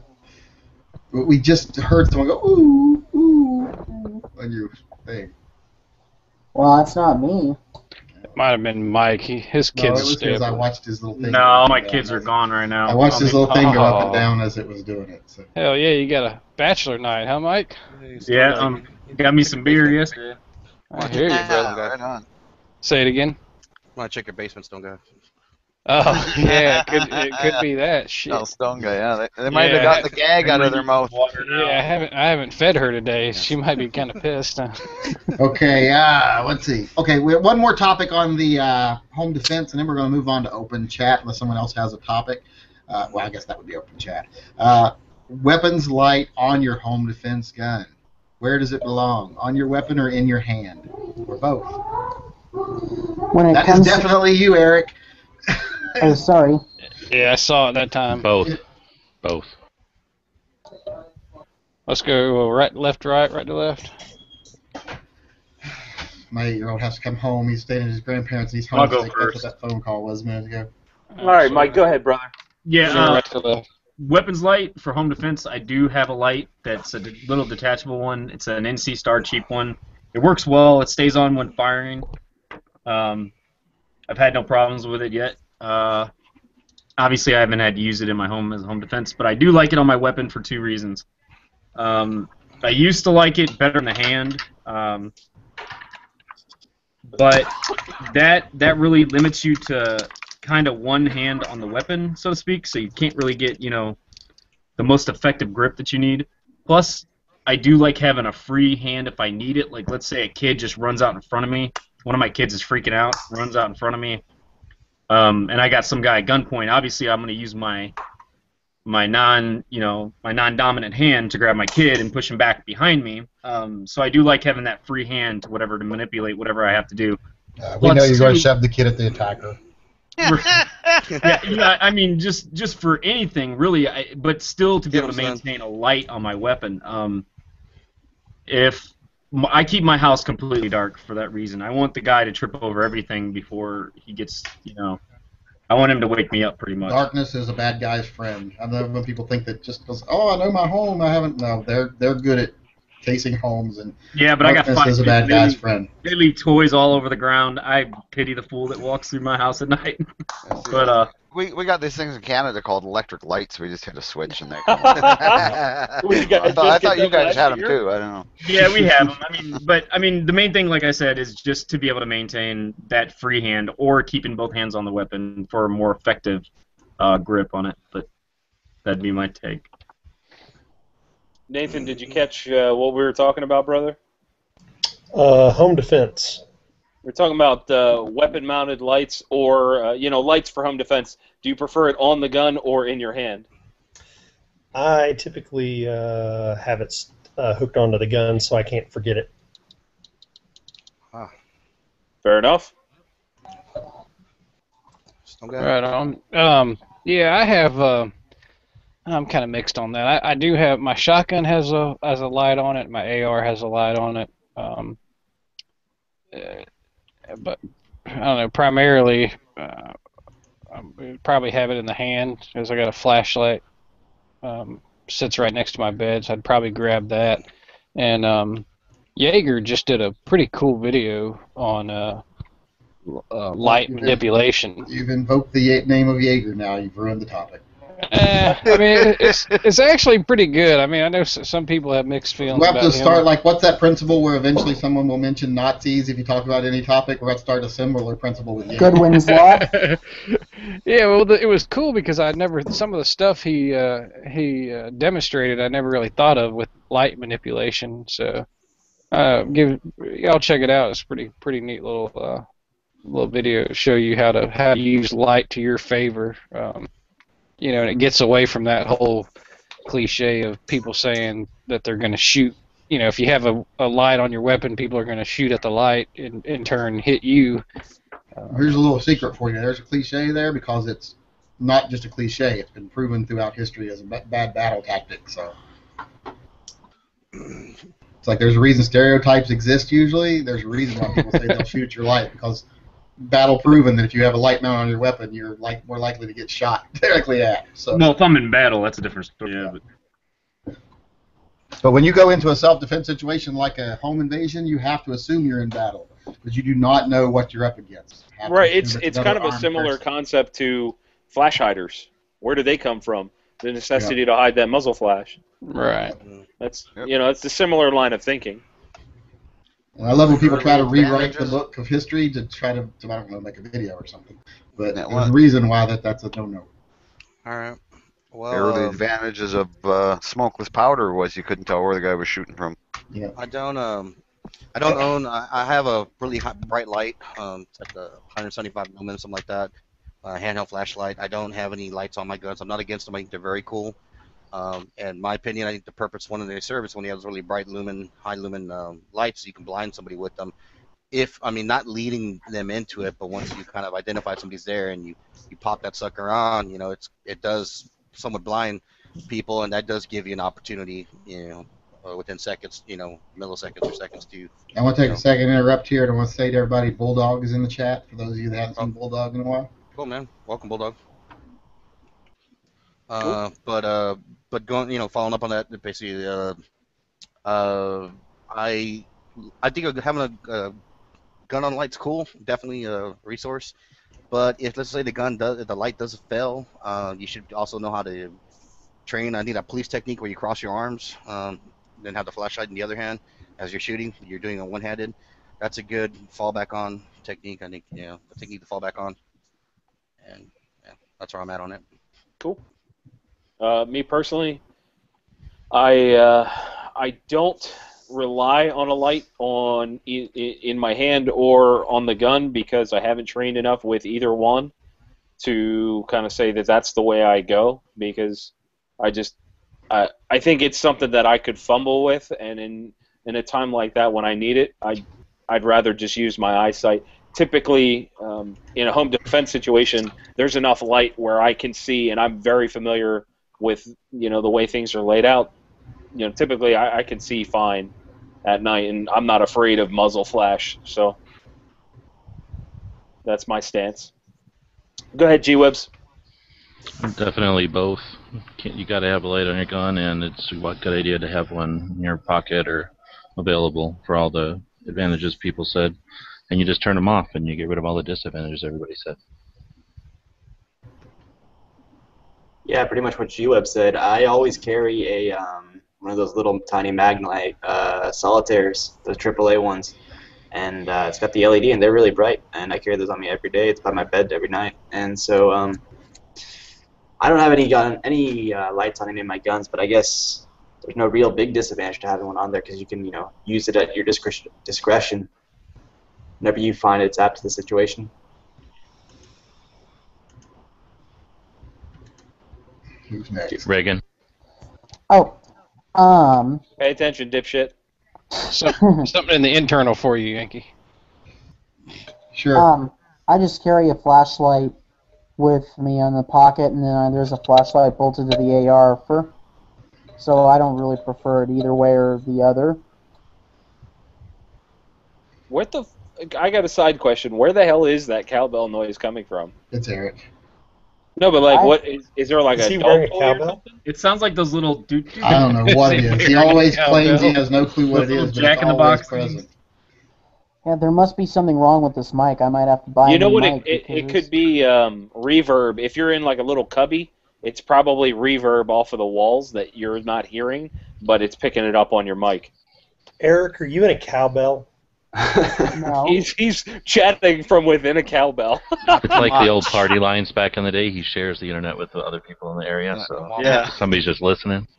I want more cowbell. He's got a fever. I guess it's me now. I am. Uh, I'm a firm believer. I kind of agree with G Webs. If you have both, you've got the best of both, and you can eliminate the worst of both. But if you're only going to have one, I always say it should be in your hand uh, for multiple reasons. Uh, one, you don't want that time-proven thing of, hey, look, there's a target right there. And plus, lights don't always alert a, a bad guy to where you absolutely are. They also, a lot of times, alert bad guys to where you're coming from before you even come around a corner. So they can be prepared for you before you're even in the same room with them if you're carrying lights. So I just like a light in my hand that I can click on if I absolutely have Oh. to, which is one of the reasons why I don't ever let my house get dark. Darkness is a bad guy's friend. It always is. Don't ever let bad guys have darkness if you can help it. Uh, it, it it's the reason I like the light on, in my hand. For another reason is, uh, and Steve M said it perfectly in the chat, and it's something I was waiting to get to for my turn. He screwed it up for me. But if your weapon is on, if your only light you have is on your weapon and you're using that as a light, well then you're pointing your weapon at things now that you don't want to destroy. And that's one of the big Yeah, that's a good no-nos. Don't point your weapon at something you don't want to destroy. If I've got my gun here, my light here, I can pan my light around and see everything in front of me. You know, side to side, and not have to point my gun at everything that I'm looking at.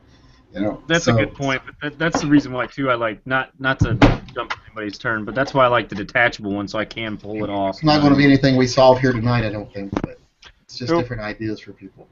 Yeah, I mean, I have a flashlight next to the bed, um, but my house again, like Yankees, is never dark because, you know, you got LED lights, they're dirt cheap and they don't cost you anything really in power. So, you know, why not have a few low, you know, low low light in, in the hallways and you know, doesn't cost you nothing. No, I have emergency lighting installed in my house actually. If someone was ever to cut the power to my house, I have little lights installed in the hallway upstairs and the hallway downstairs that light up and will keep my house lit. If Yeah, that's a good power. idea. Yeah. And it only cost me like the units themselves were like sixty-five dollars a piece for the units, and then I paid hundred bucks a piece to have them installed by an electrician friend. So they run right off of. He just ran a wire down to the outlet that's below them, and if they ever lose power, the battery in them kicks on and lights up your house. Yeah, that's what I was just about to ask. So their their battery backup, they're not running on a generator or anything. No, they run to the power source, and the power source keeps the internal battery constantly charged. And then if they ever lose ah. power, the battery, the little switch switches to the battery, and they light up. Well, that's cool. But you can buy them too that you can just plug into your outlet too, and if your outlet loses power, boom. Yeah, they come on. They give you enough light that you're not going to trip over Yeah, shit. we've got some of those nightlight type deals that are that way, but you know nothing substantial, but just you know just some. Well, they have some that aren't night lights or emergency lights. You plug, they're usually like little round lights. You plug them in, they're like way, way lighting. You plug them in, and if you'll notice, they'll never come on. But if you pull them out of the outlet, they come on. They're set to come on when they lose power. So you plug them back. Yeah, you get, get some really nice ones. Uh, they're like 400 lumen or some shit. They're crazy. Costco Yeah, has them for like througty dollars. You get like six of them to stick throughout your house. Yeah, we Yeah. just we got a couple of those. What happens if you get like in a clap-on war with the robber and you have all the clap, everything hooked to the clap on? and you're like, hey. Every time you fire twice, the lights go on and off. Yeah. That's the most hilarious robbery ever. Yeah, exactly. It's like an SNL skit. Well, I can tell you your smoke detector is going to go off from experience. Yeah. yeah. Well, my smoke detectors go off for no damn reason sometimes. I don't know. I, Last dude, that winter they the went off most because it got terrifying cold. thing. Yeah. They detect We went on vacation. I actually get a call. I am in Ketchikan, Alaska, and I get a phone call from our neighbor. Your fire alarm's going off. And it's because our house had gotten really cold, and it was warm inside and cold in the attic, and it set the fi- fire alarms off for some reason. And I'm like, what the fuck? The temperature Fire alarms aren't differential. Hello. What'd you say? I said, what is it? The temperature differential between Yeah, it was the two difference. That's what the fire fire department declared told me. There was difference between the super cold air up top and the warmer air below. Somehow set the. He says it does it sometimes. So I'm like, okay. But that's real fun to be getting phone calls while you're hundreds and hundreds of miles away saying your house is burning down or whatever. Yeah, that's not fun. yeah. And That's then you gotta gotta, ask, a then you gotta feeling. wonder, yeah, why is your neighbor phoning you and not the fire department? Well, they were already there. She was just Oh. calling to let me know. She had a key. Oh. She let them in. They were going to break the window. But Oh well. so it was not fun. And then they charged me $180. What Really? for a call? Yep, for coming answering a fire alarm that was a false alarm. So.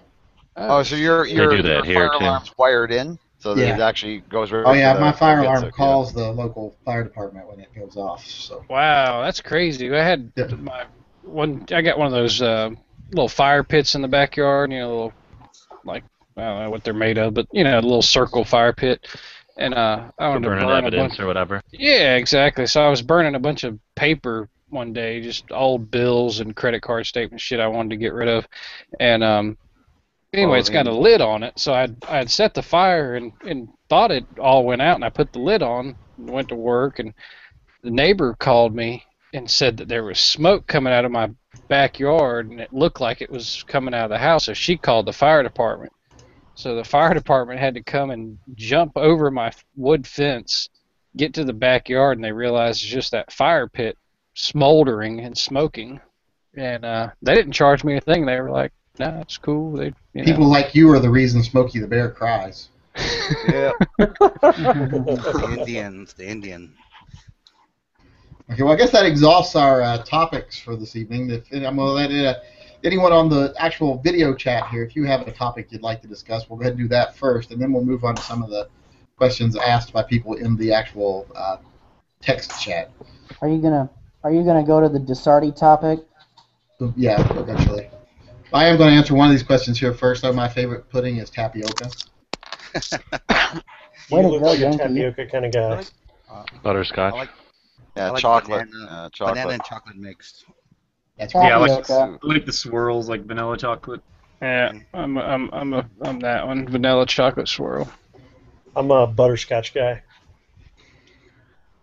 I was wondering what's up with the pudding talk. This this guy's been hammering the pudding questions in the chat. I like pudding. Who doesn't? I like Bill cheese. Cosby likes it. Yeah. Those are pudding pops. I don't like pudding pops. Uh, those things were lost on me. I tried one of those once. I was like, this is gross. I'll just They have bad. It's been f- like shit 20 years. I had one of those. Now that you mention it. Do they even still make those anymore? I don't even know if they still make them. No, it turned out they were carcinogenic, probably. Probably. Okay. Ah, And they, were, and they were gross. So What did All I right. miss?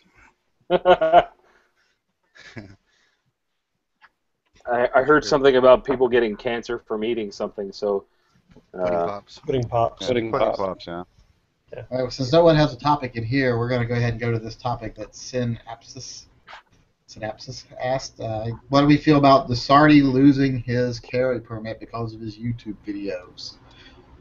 And it's a, that's a pretty uh, uh, touchy topic here, but let's just remember we're all talking about a fellow gun owner, as crazy as fucking batshit as he might be. Uh, so let's keep it respectful as we can, and just talk about our actual thoughts on the actual what happened and what we know about it. If you don't know anything about it, feel free to say, "Hey, I don't really know anything about it." Well, are did we we, going in any order or anything?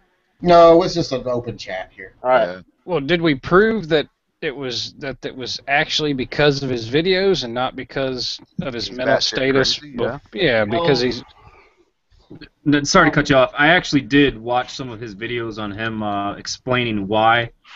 Uh, the main reason he said it was given was because he went to a doctor's appointment, and the doctor had asked him some questions about. He said he had had some chest pains or something Uh, to do with his that- heart. that's That's, old. that's the old shit. This is this That's is new. old. He's- oh, okay, That okay. was all mostly bullshit.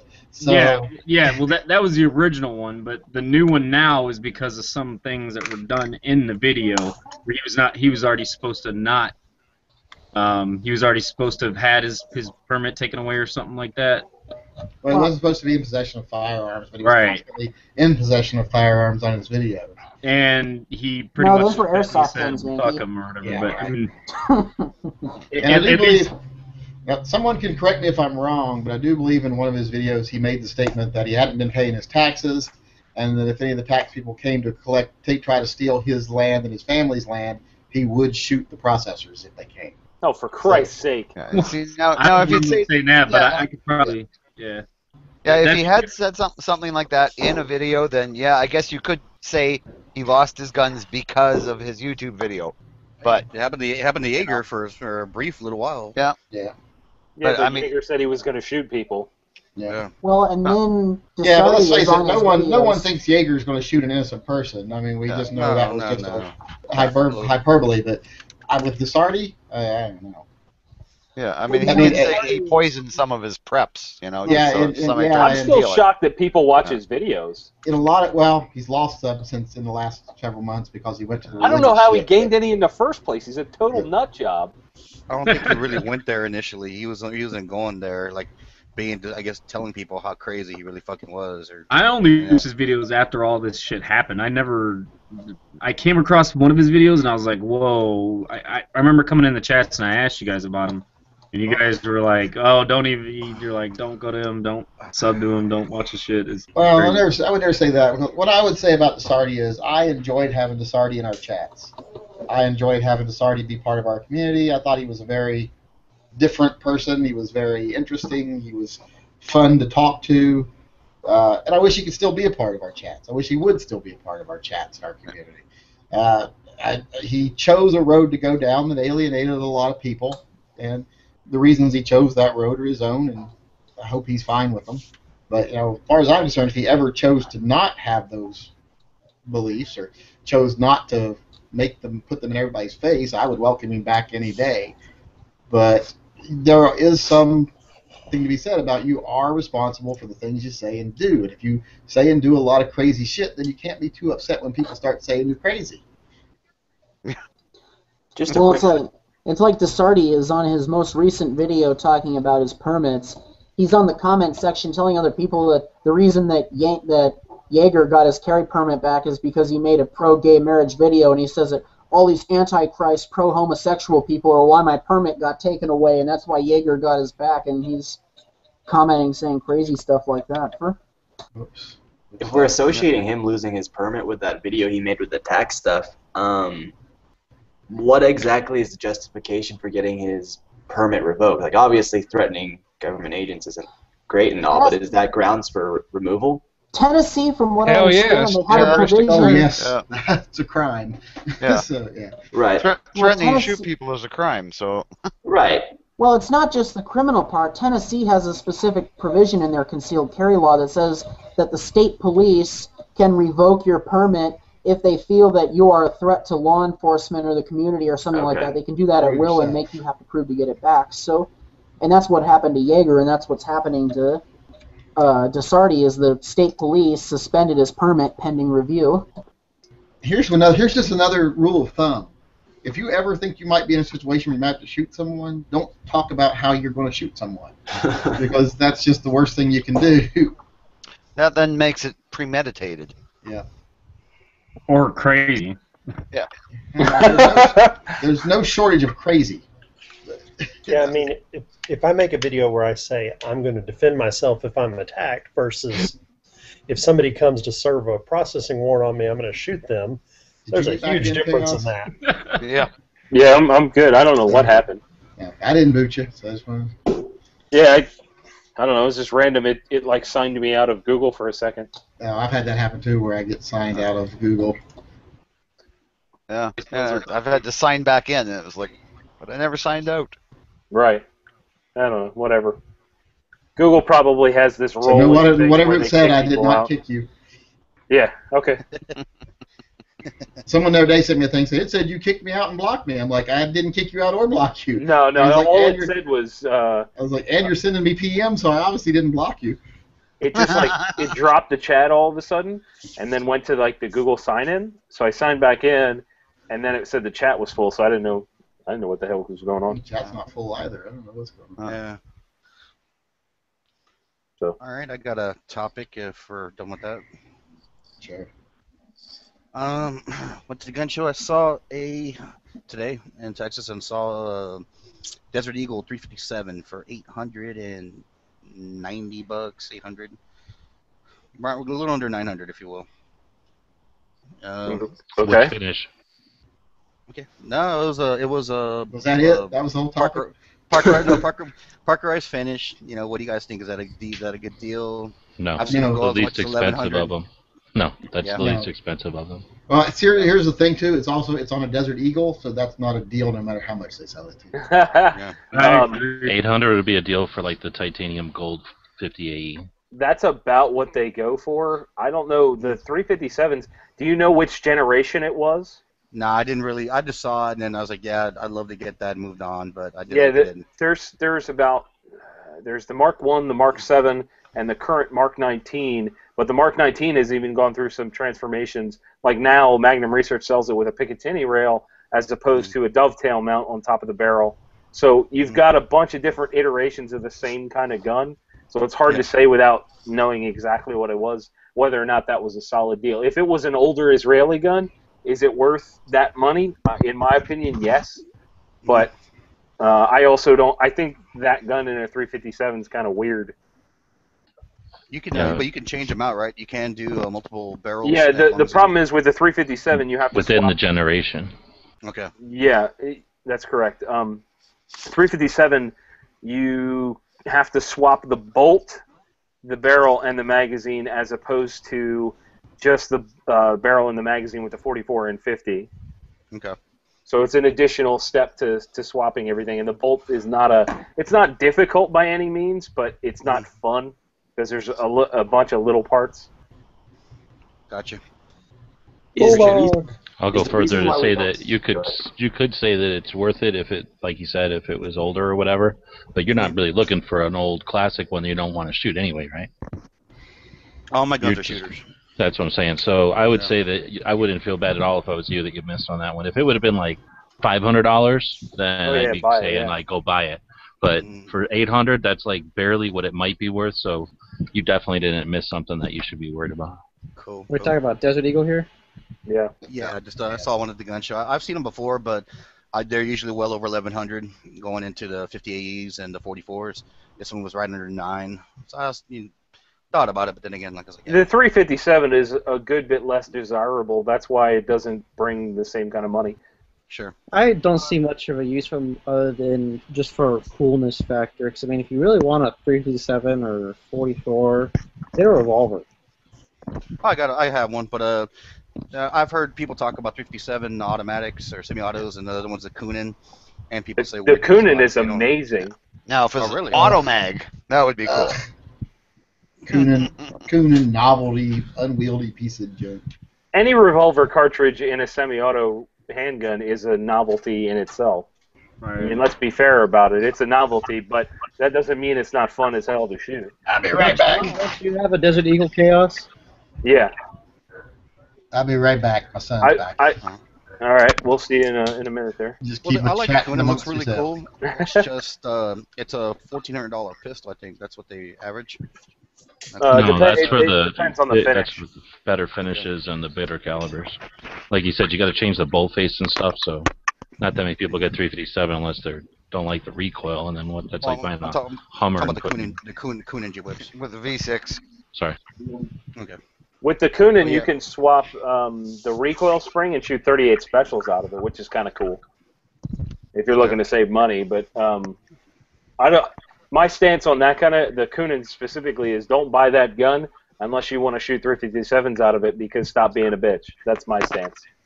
I'd, li- I'd like to shoot one just to see how it feels compared to the 357. I shot a Uh, baby. Desert Eagle. I never. I used to own a baby Desert Eagle 9 mil. cool. I didn't like that. at all. The the magazine kept dropping out after like three or four rounds. I That's ended up awful. getting rid of it. Yeah, Is 'cause, like every time I shot it, I think the grip was just too small in it or something for me. I don't know. Or the placement of the magazine release. Just might not have been uh, the right gun for you. Right. the revolver um, ammo out of the semi-autos? Is that because of the uh, the rim or the length of the cartridge, or Uh, typically, it's a rimmed cartridge.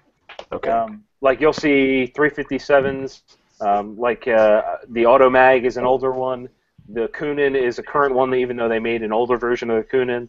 Uh, the Desert Eagle is very common for that, and uh, you'll also see guns like the LAR Grizzly, which is a, a gun that not a lot of people know about, but is effing cool. Um, the LAR Grizzly shoots, uh, I think it's like four, 44 Win Mag. No, um, 45 Win Mag. That's what it is, and then you'll also see it in 50 AE and some other cartridges as well. I But typically, the, the rim gives that away. When you think about how they're made too, and like just because they look like brass on the outside, the insides of bullets are all drastically different. So when you get something that's made for an automatic, that's made to cycle in action, it's going to be more substantial. It's going to build pressure. It's going to use that pressure to cycle the action. Where in a revolver, these guns, these bullets, some of these bullets were literally made before pistols were even in, in existence. So they are made out of thinner brass. Their walls, you know, they expand differently because they had a rod literally pushing them out of the chamber. They didn't care at all about expansion. So mm-hmm. when you've got a semi-auto trying to pull that out and cycle an action, cycle the next one up, it's sometimes difficult to make all that happen okay. physically. I, I did get my hands on a SOCOM, HK SOCOM 45. You have to have some big ass hands, man, to, to, to handle that gun. It's This- a big old grip on that gun. Is that the Mark 23? You mean? Yeah, the Mark 23 SOCOM. Oh yeah. Big old That's what the grip. ladies tell me too. Yeah. That's what she said. I said that's what the ladies tell me. Oh, okay. I heard. At least, heard at least he something hopes those were ladies. like- there you go. It's like she did have big hands. And And are, are women apple. supposed to have Adam apple? Adam Yeah, in Vegas, women have Adam's apples, right? Something in the water. yeah, same is same. No big deal. She beat me in arm wrestling. Just I, I just want to weigh in real quick. Um, as as somebody that owns a gun like the Desert Eagle, I, I think that most people get off on the thought wrong you actually foot. owned a Desert Eagle. Huh? What? thought you owned a Desert Eagle. Oh yeah, I do. That's what I'm saying. Oh, I thought you said you owned a gun like the Desert Eagle. Well, we, we were talking about other guns like the Coonan 357 and the Automag and Oh, okay. the LAR Grizzly. So um, I think that a lot of people get off on the wrong foot about those guns because they expect them to be kind of quote unquote go to war guns. Um, generally, while some of them are reliable and do function well, like my 50 AE runs really, really well 99% of the time, but it does jam up every once in a while if I don't do my part. And you know, with that in mind, I think as long as you consider the fact that you shouldn't be pulling that out in a defensive situation, then you'll be good because that's at least that's my stance is they are novelties as long as you accept that it's going to be a great time with you and that gun. Yeah, Some I'm pretty sure for- commandos some and guns Israel, desert eagles in the desert. So I don't think a I desert I read that on the internet. desert ever. I read it on the internet. That's they were made over there for their special ops guys. yeah. Can't argue. They can't put it on the internet if it isn't true. Oh, that's right.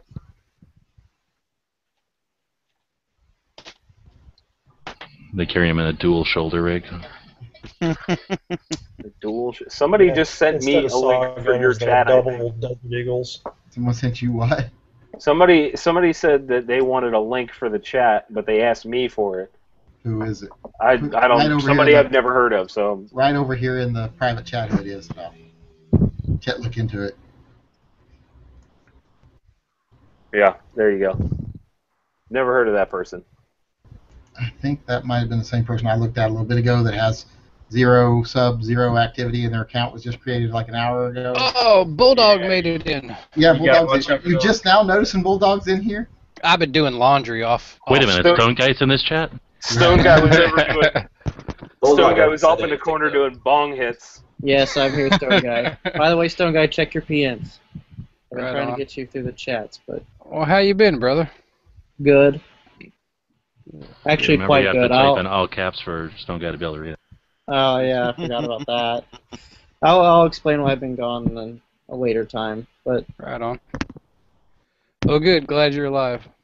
yes, I'm very much alive. Just very busy. Nothing personal against Scott Kane, but because of some things that have happened in some recent chats, we have to be a little more careful about who we let in. And with zero subs and a brand new account, it, I think that's only fair. You and I had a conversation about this the other day. I think it's fair that, you know, in these chats we get guys that are, you know, active in the community. Yeah. You know, I don't think that's asking too much to bring the more active members out and have them discuss things rather than guys that don't uh, don't make videos or don't participate in any way. That's lame. The guys, the people that are out there watching generally just, want just to see watching and commenting on like- videos right. Is enough for me. But uh, you know, just like I say, right now because of some things that have happened in other chats, I just can't be letting just anybody in. Fair enough.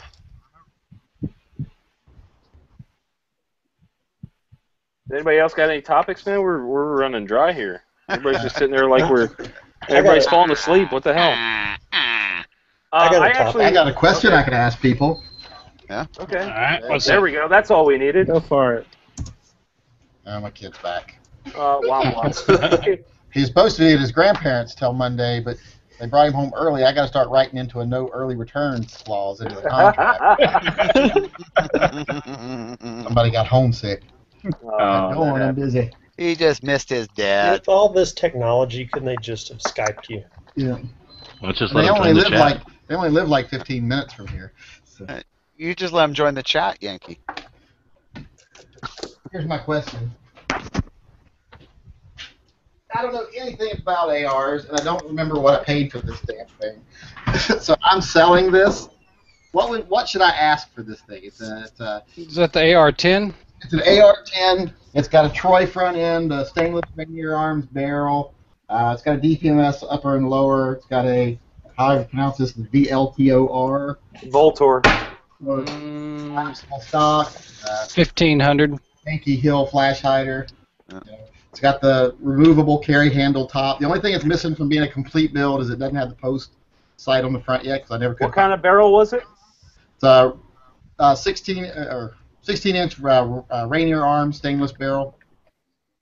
Are you trying to move it quickly, or you want to get decent money for Oh, it? I'm not in a hurry to move it. I'm just because it's sat in my safe since the day it was built. It was built by Kurt's Custom Shop over here, their Custom AR place, and uh, Is it a standard trigger in there?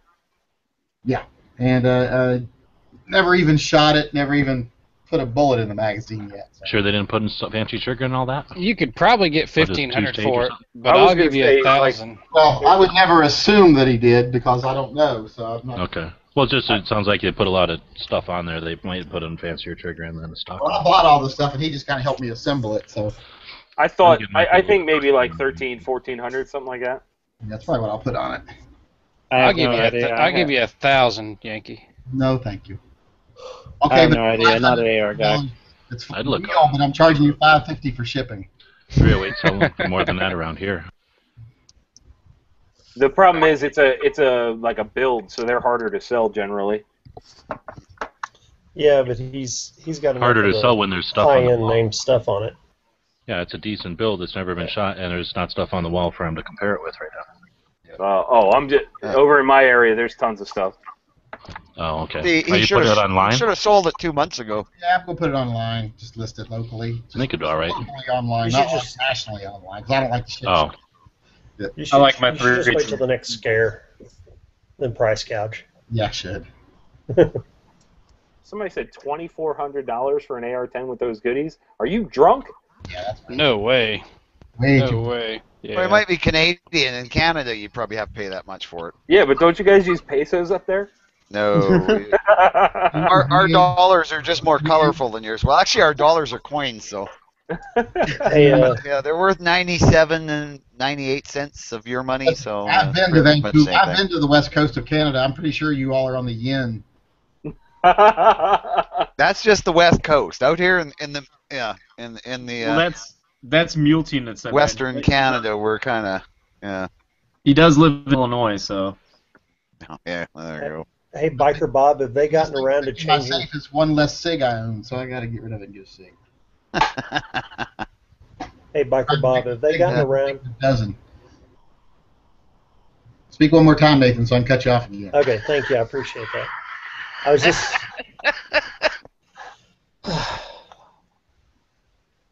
Ready, to go. No, not gonna do it. Anybody got anything to say? Topic? Should we end the Uh, chat? somebody was talking about uh, that guy Mark Kessler. I don't know much about him. Um, he was has been suspended without pay for a certain period of time because he made some videos that were like, uh, you know, fuck you, blah blah blah blah blah. You know, he's a police chief Fuck calling me? people libtards. No, no, no, no, no. Like, not you specifically, but uh, I guess I don't know. I, I don't know much about the guy o- other than the fact that he's in Pennsylvania. I think he should be fired. The union should not protect him, and he should be gone. Because when you uh, sign contracts to be a police officer, you state you will not do things like YouTube videos and stuff like that. So he Mm. violated the, the conditions of his contract. As far as I'm concerned, he should be gone. Whether he called people libtards or uh, whether he called them, you know, uh, neocon bastards or whatever he wanted to call people, he violated the contacts of conduct for being a law enforcement officer. He should be gone. Do those uh, do those Ditto. rules of conduct uh, expand into your personal life? Yes, they do. Yes, Okay. definitely. That's something I wasn't much clear so. on. Okay. Yep. That's one of the reasons I am not working right now because the first thing I was told during the interview by the captain over here in Vancouver was you would have to cancel your YouTube channel. You cannot have that. That'd be a law. It's very sweet that we're that important to you, or, or you're not that self-important. No, I just didn't want to work. he was just looking for any excuse to sit down and make YouTube videos. He just had to do that interview. I was just hoping to get on long enough to fall down and get on disability anyway. So That was just one of his mandatory videos to keep getting the government dime, I think. Does YouTube offer disability if I fall down making a YouTube video? Like, Only if it goes viral. okay. Yeah. Uh, ask uh, Tex Scribner if they offer disability. myself a hillbilly abortion. I'll punch myself in the stomach and throw myself down some stairs if it'll get me on disability. Someone saying he said that liberals take it in the ass or something. I don't know. I, I find that um, pretty lame of him as a police chief or whatever he was. That that's my understanding. He was a chief of police in in some area, actually, just you know, probably an hour or two north of me. I mean, come on, dude. You're a you're a chief of police. Don't act like that. You know, like at if you're gonna make comments like that, don't be such a dipshit about it. I'd Right. much Positions were actually kinda screwed like up, to too. think My chief of police is more mature than that. I would think you're not qualified for the job just for your maturity level alone. I wouldn't want you having a gun and a badge. Right. Are chiefs elected usually or appointed or what? And they're appointed by the city council or city management. Yeah, They sheriffs are those- sheriffs are elected.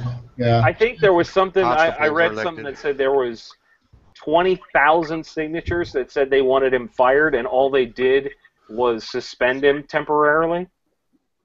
So I, I mean, people are pissed about it. The people that That- live where he's from that's 'cause are he's- pissed. That's because he's got so much dirt on the mayor, probably that. Hey, yeah, that's could it's be, yeah. possible. Well, fire the mayor too, if that's the case. Well, I'm so used to way back in the old days. The police chief, when the judge's son would get caught DUI on the highway, they'd shut it all down. And, you know, and there's a little blackmail against blackmail. Used to run favors for each other. It's not that way anymore as much, but Did he just say he likes videos with black males against black males? I don't know. I, I didn't Yes, I quite did. get that either. That's what I heard heard. something about uh, yes, I Ucorn. did. Yeah, yes, I did. I I'm mean, sorry. like in blackmail on blackmail action or Um, something like I, that. I went there. I'm sorry. I apologize. Next, we'll be talking about unicorns and fairies. It's my business. Alrighty, guys, I'm gonna head out. Thanks for the invite. You're welcome. All right, have a good one. See you later, Birdman. Yeah, somebody somebody else in the chat was saying he got fired for department equipment, for using department equipment and not for the content. So I, I don't know if there's any truth to that or not, but that's what. Don't make him from work. Yeah, I'm about I'm to not say, sure was he that he making a YouTube fired. video in his office? Yeah, I, I have no clue if Fired or not? are I don't know. I don't know. I guess this guy named Mark Kessler. He was a, a police chief, uh, I believe, in Pennsylvania, and he made some over-the-top comments. We'll call them. Okay. On YouTube, and they kind of went a little bit viral, and you know he got called on it. Yeah, some uh, some police departments, I don't understand, do have uh, policies about uh, social media and all that stuff that you cannot participate. Yeah, that contract you sign when you go when you enli- when you enroll, well not enroll, but take the job, it covers all that bullshit. Even before social media, it covered making interviews on television, interviews to newspapers, blah blah blah, all that shit. So, Right, and they've just expanded it to encompass social media. Yeah, so I mean, really, you broke your contract here. A lot of them go as far fired. as to say you were to behave as a gentleman and scholar at all times. Yeah. I think of scholars when I think of cops. Yeah. Yeah. I've heard they actually, there was some departments would give you an IQ test, and if you scored too high, they wouldn't hire you because it meant you would leave the job after so many years. all of them. If you score too high on certain parts of the test, they don't want to hire you because they know you'll leave too soon. There's a question for Chaos in the chat. Uh, AK-47, tactical or traditional? Can I have both? No. um, if I gotta pick one, uh, I'll go traditional. I, I'm a big fan of um, guns with wooden furniture on them, and uh, you He know, like wood. a, a cla- Yeah, I love the wood. Uh, a classic, like really well kept uh, AK. Maybe that like reddish color. Yeah, that's what I dig. Are you, are you buddies Yeah. with Matt? If I was going to go with an AK, I would go with the classic wood furniture, but that's because I own a conical hat and black pajamas to go with it. There you go. You should have an SKS then, because they were far more prevalent. I like um, I like the tactical stuff, but uh, you know, it's I prefer the more traditional look. I mean, like Um, my buddies at Krebs Customs do some badass tactical style guns, but you know, I if I had a choice between one of their guns with the wood or one of their guns with the plastic, I'm going with the one with the wood.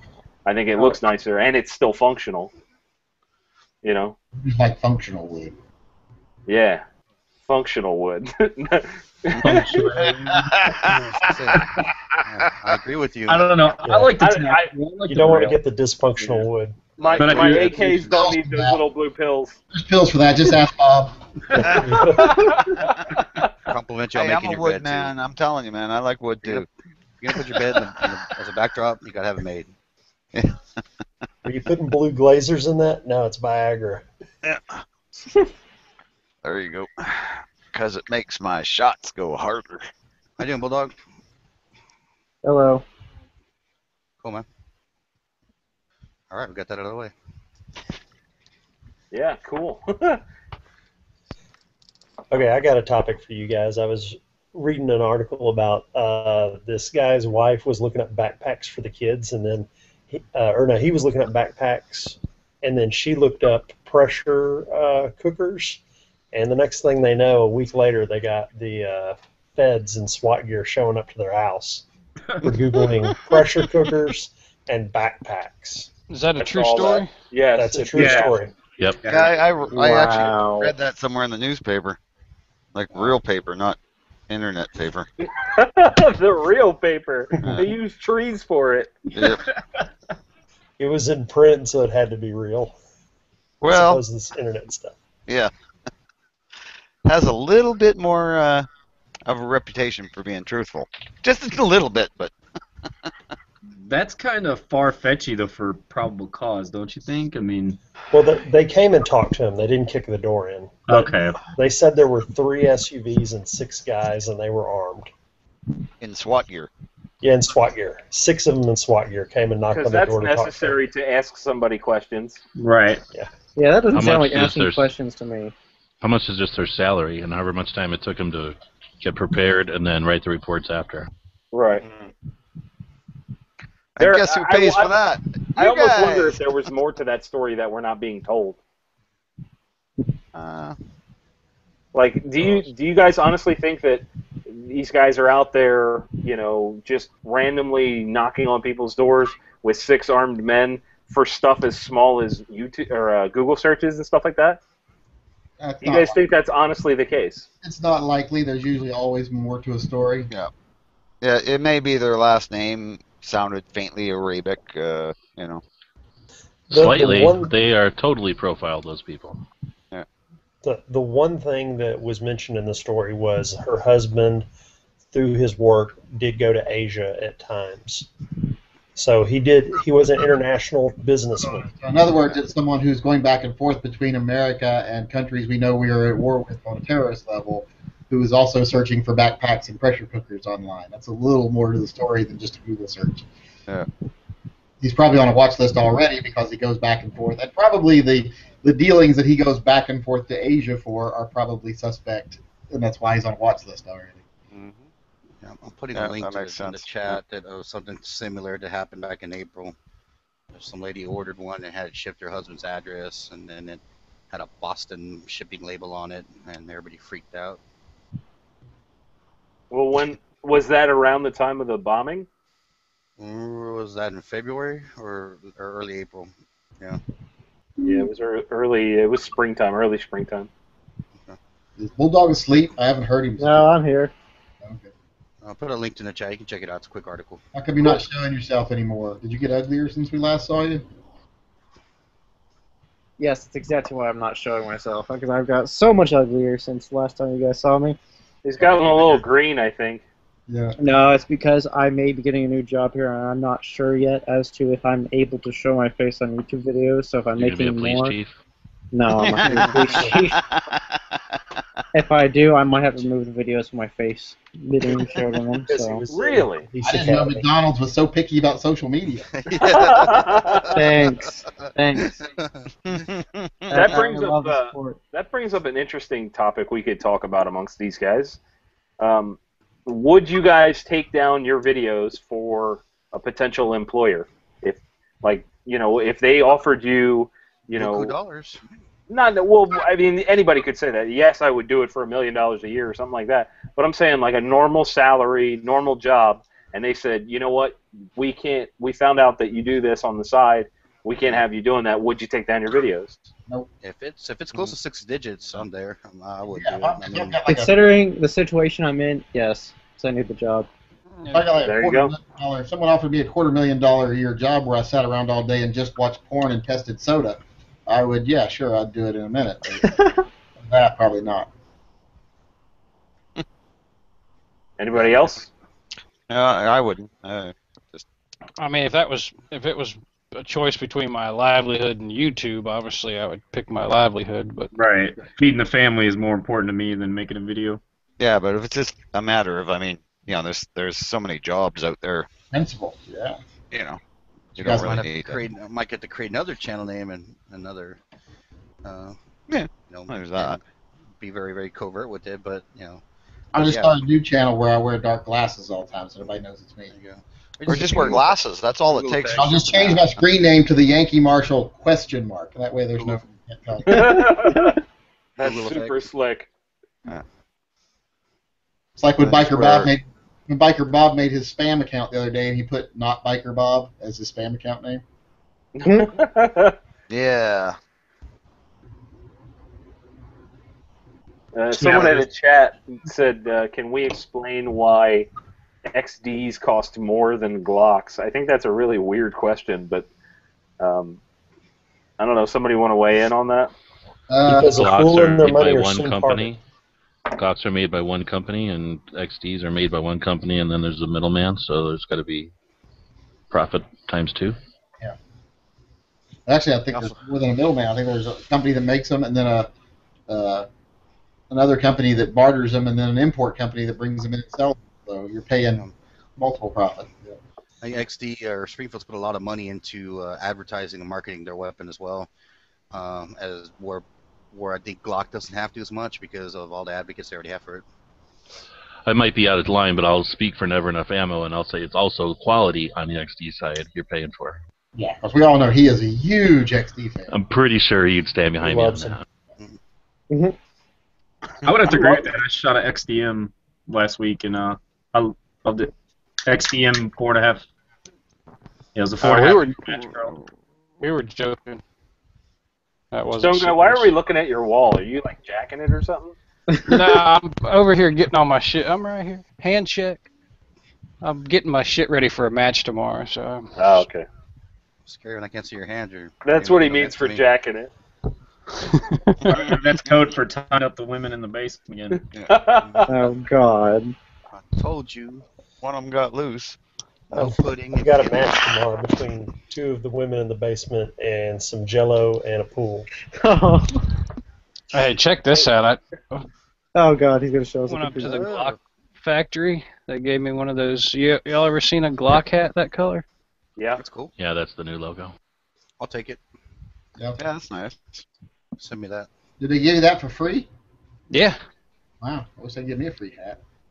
Just drive up to Smyrna, Georgia. No, thank you. Did you know how many times you've been there, Stone Guy? Uh, twice. So the first time you went there, would you do it on your GPS, or did you go with somebody, or what? Yeah, a friend of mine told me where it was. Um, Did he give you good directions, or just give you that it's on that little cul-de-sac, or I guess that's a loop or whatever it's on? That Yeah, well, he- horseshoe. Yeah, he gave me general directions, and then I just put their actual physical address in my in my GPS. I did it on the GPS, and I drove up to that like building across the street that's unlabeled, and then me and Haas were like all gross and like looking in the windows of this building, like freaking them all out. So finally, somebody comes outside. It's like, "What do you want?" I'm like, "Is this Glock?" No. Big ass building across the street says Glock all over it. Oh, okay. I have Well, there- bad there luck with GPS systems. There are several Well, it sent us to a different building. That's why I was asking if maybe they hide that or something, or if they did that, or if just our GPS was cheap. Someone said no Marine tonight. I think he's with his family, and I think his wife keeps a close rein on him, so I think he's allowed to play tonight.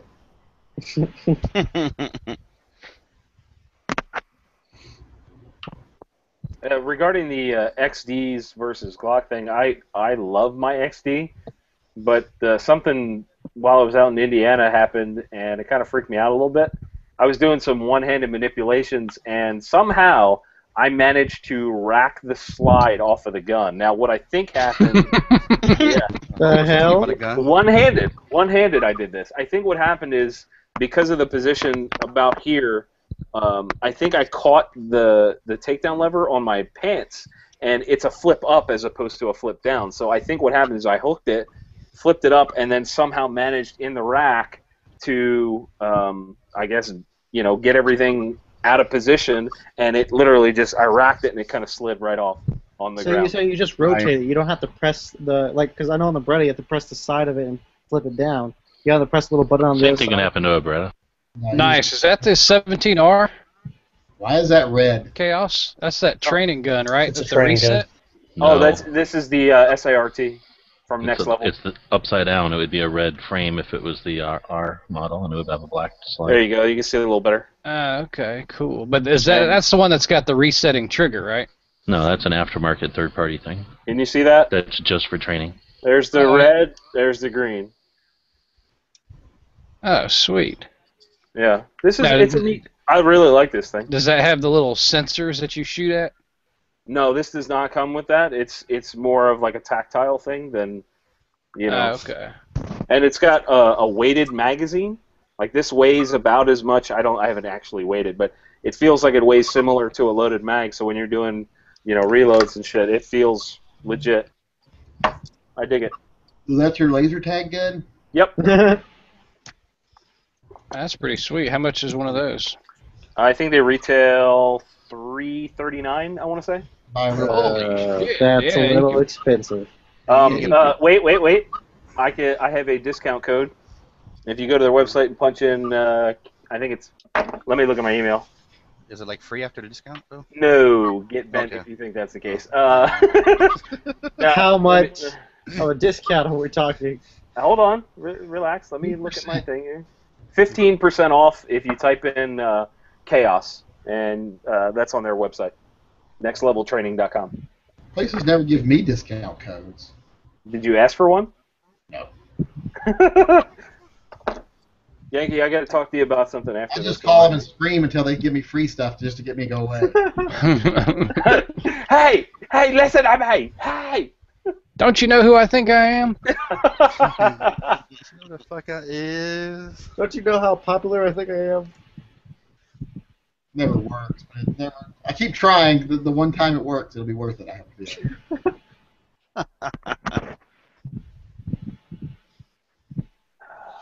Bob, you should get one of those guns for your kitty cats with the lasers. You can have fun with them.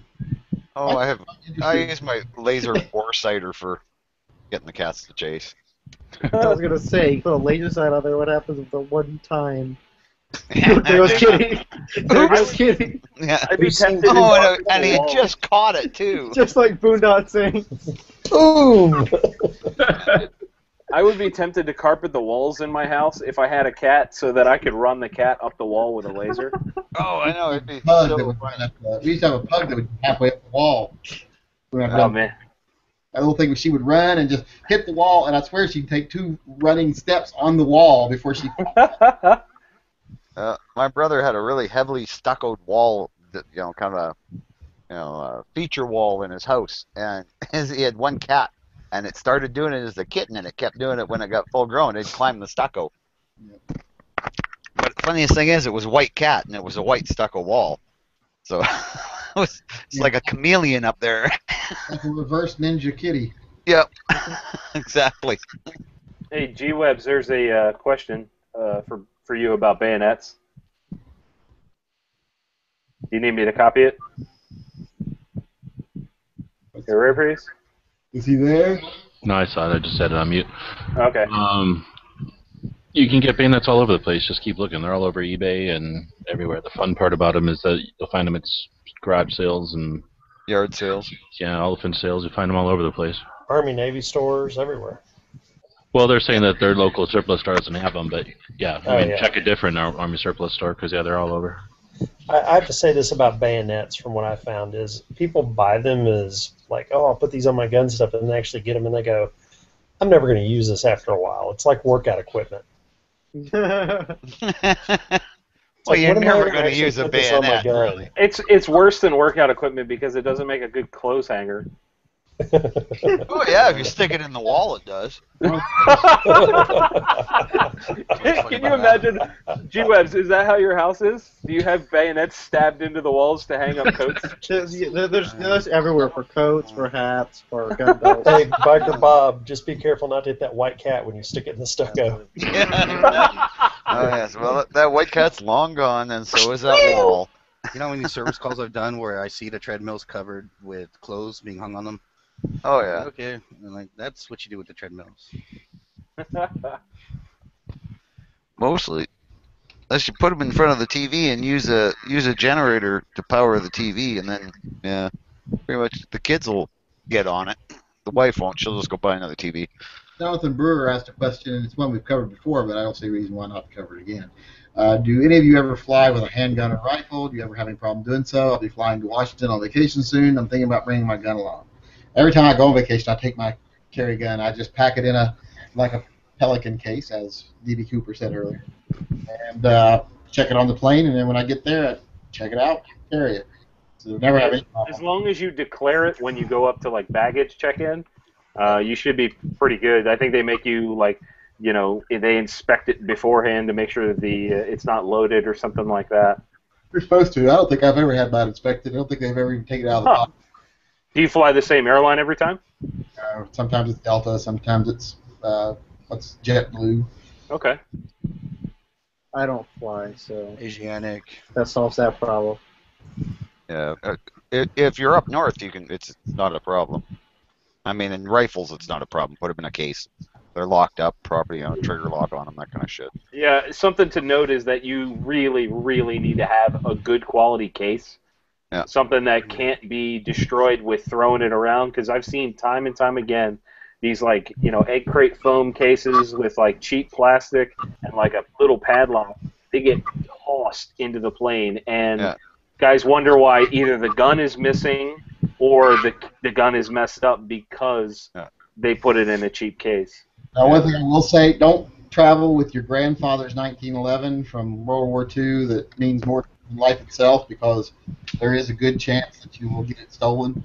Has never happened to me yet, but my, Yeah. my father works for TSA. He's one of the big wigs for TSA in Alabama, and he'll tell you that the baggage baggage handlers are pretty much ex-cons and people with stalking warrants against them, because that's about the only job they can get. So they will steal your shit which is one of the reasons the airline quit putting the big red sign on it that says there's a firearm in this box because they were finding the baggage handlers were stealing about half of them, so they quit doing that. So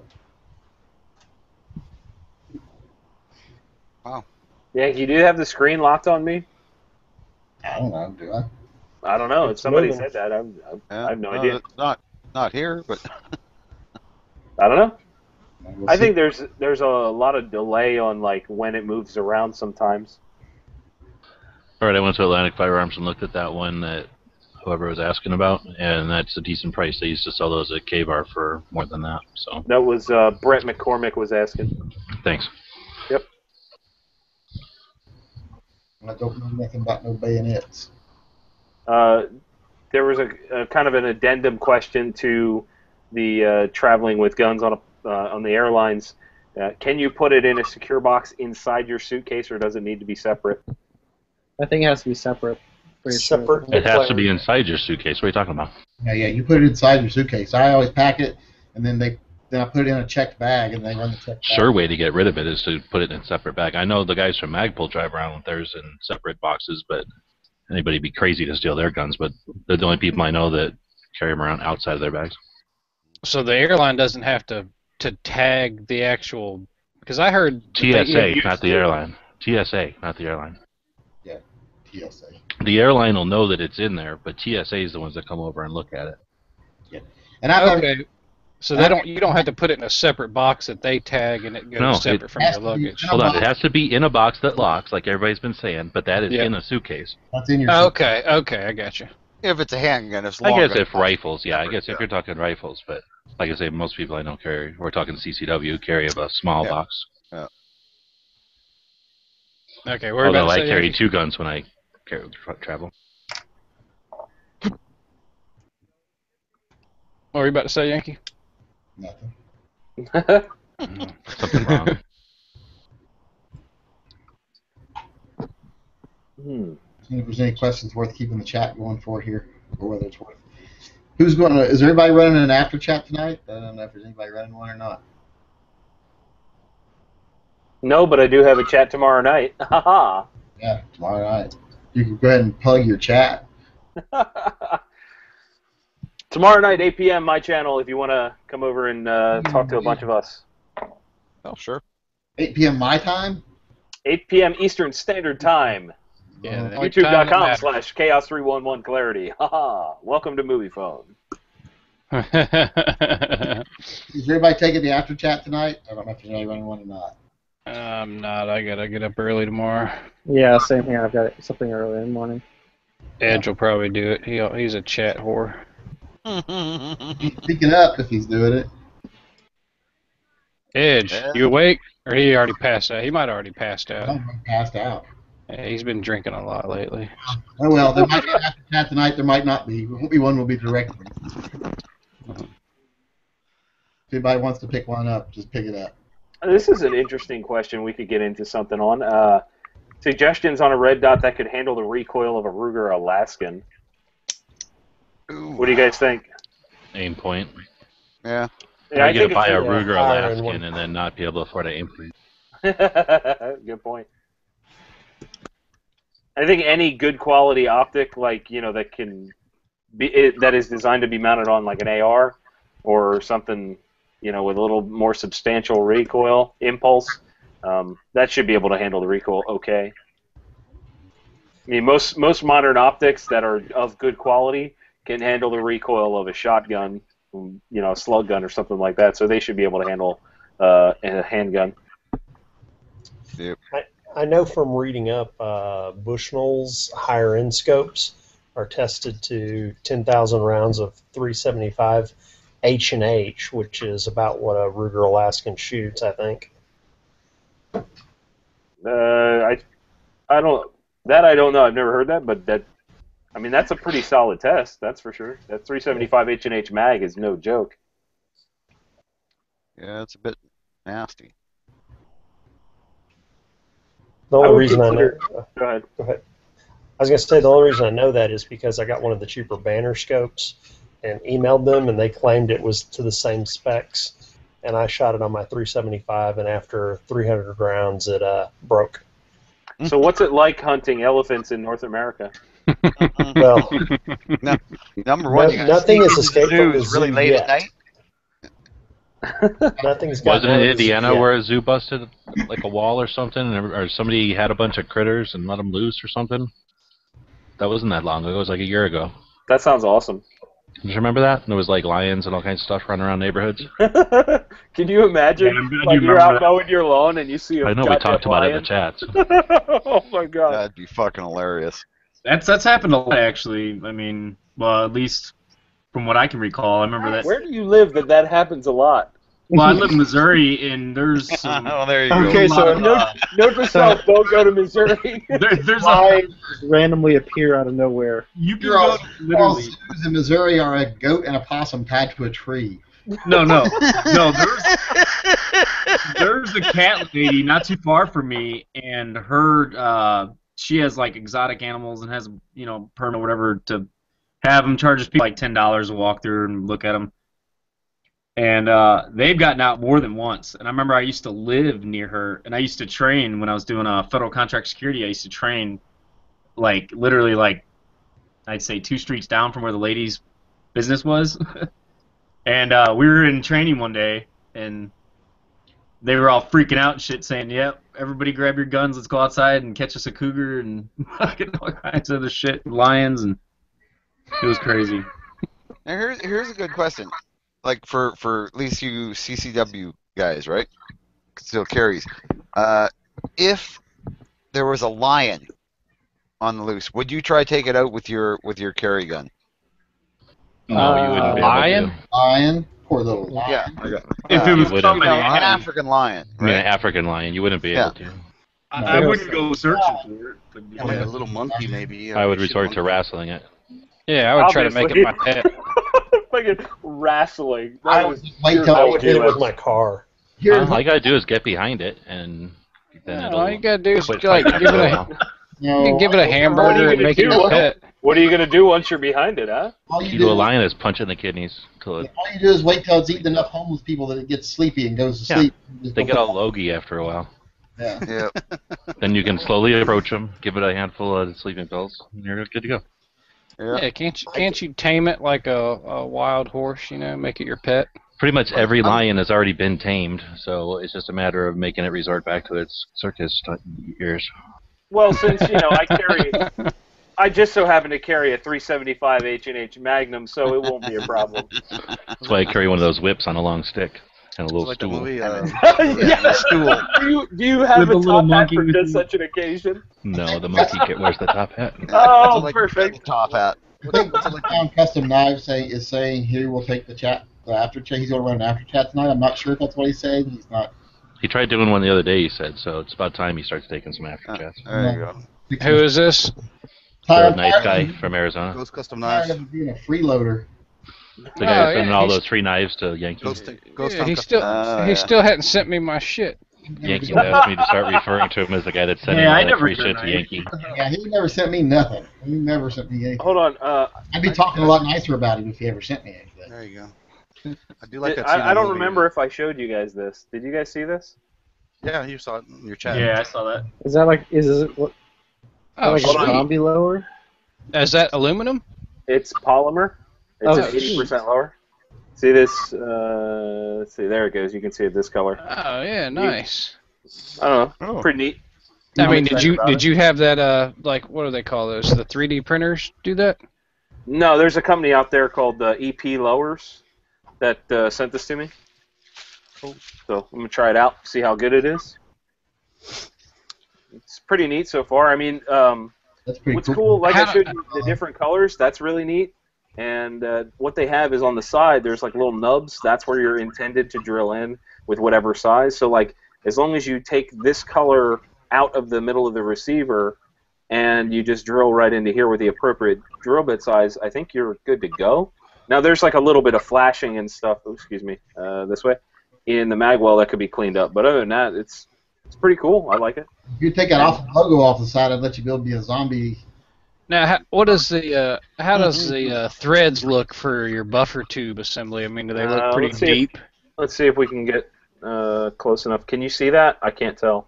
Mm-hmm. Eh, Uh, not really. I can't. It's it's tough to tell, but it looks solid to me. I mean, Carbon 15s or whatever they're called have been doing it for years, so we'll see. right. And I have I have a polymer lower on the Chaos carbine, and it's it's done me very very well. Are you gonna get a matching foregrip for that and everything? Or, you know. Uh, I don't think I'm going to go with green. I am going to go with some other ridiculous color, but I'm not going to go green. Oh, I like the green. That's cool looking. you make that Thank any you. other color than green, I swear to God, I'll come up there. What'd you say? Badger. I said, if you make that in any other color than green, I swear to God, I'll come up there. Well, I would love for you to come visit me, honey. Hey, you two, get a room. Get a room. Hey, Yankee, there's a badger behind you. Yeah. your cat's making YouTube videos with your bro- uh, your son's old phone. over there getting into that AR I've got it laying out in the case over there, and she does not like things being out that aren't normally there, so she has to. Like it'll be a hundred bucks cheaper because of all the cat hair on it now. I don't like change. That's why cats, you know why cats don't like change? Why's that? Pockets. Wow. Wow. What? He said because they don't have pockets. oh, oh my god. I can write jokes on the fly. I'm funny. Oh, that was good. That's a good one for Halloween for my kids. What about the ferrets that rob everything from you? The- What about the underpants gnomes? There you go. Yeah. Underpants equals profit. Underpants question marks profit. Profit. I'm gonna write that. I, I just put up a whiteboard and I'm totally gonna write something question marks profit and send you a picture. I'll, I'll try to make it ridiculous for you. That was one of my favorite. That was the, oddly enough out of that whole show, and that was one. Of, that was the funniest thing I found in the whole show. Was when they the underpants question for profit. I, that was what I thought was like the quintessential moment of the, of the episode. Uh, What so show is this? South Park. It's a South Park. Oh. My favorite part is whenever uh, Cartman was hitting the gnome with a stick, and then the gnome went off on him. is that all you got? Uh, this is an interesting question. Does a stripped polymer lower need a piece of metal to comply with the Undetectable Firearms Act of 1988?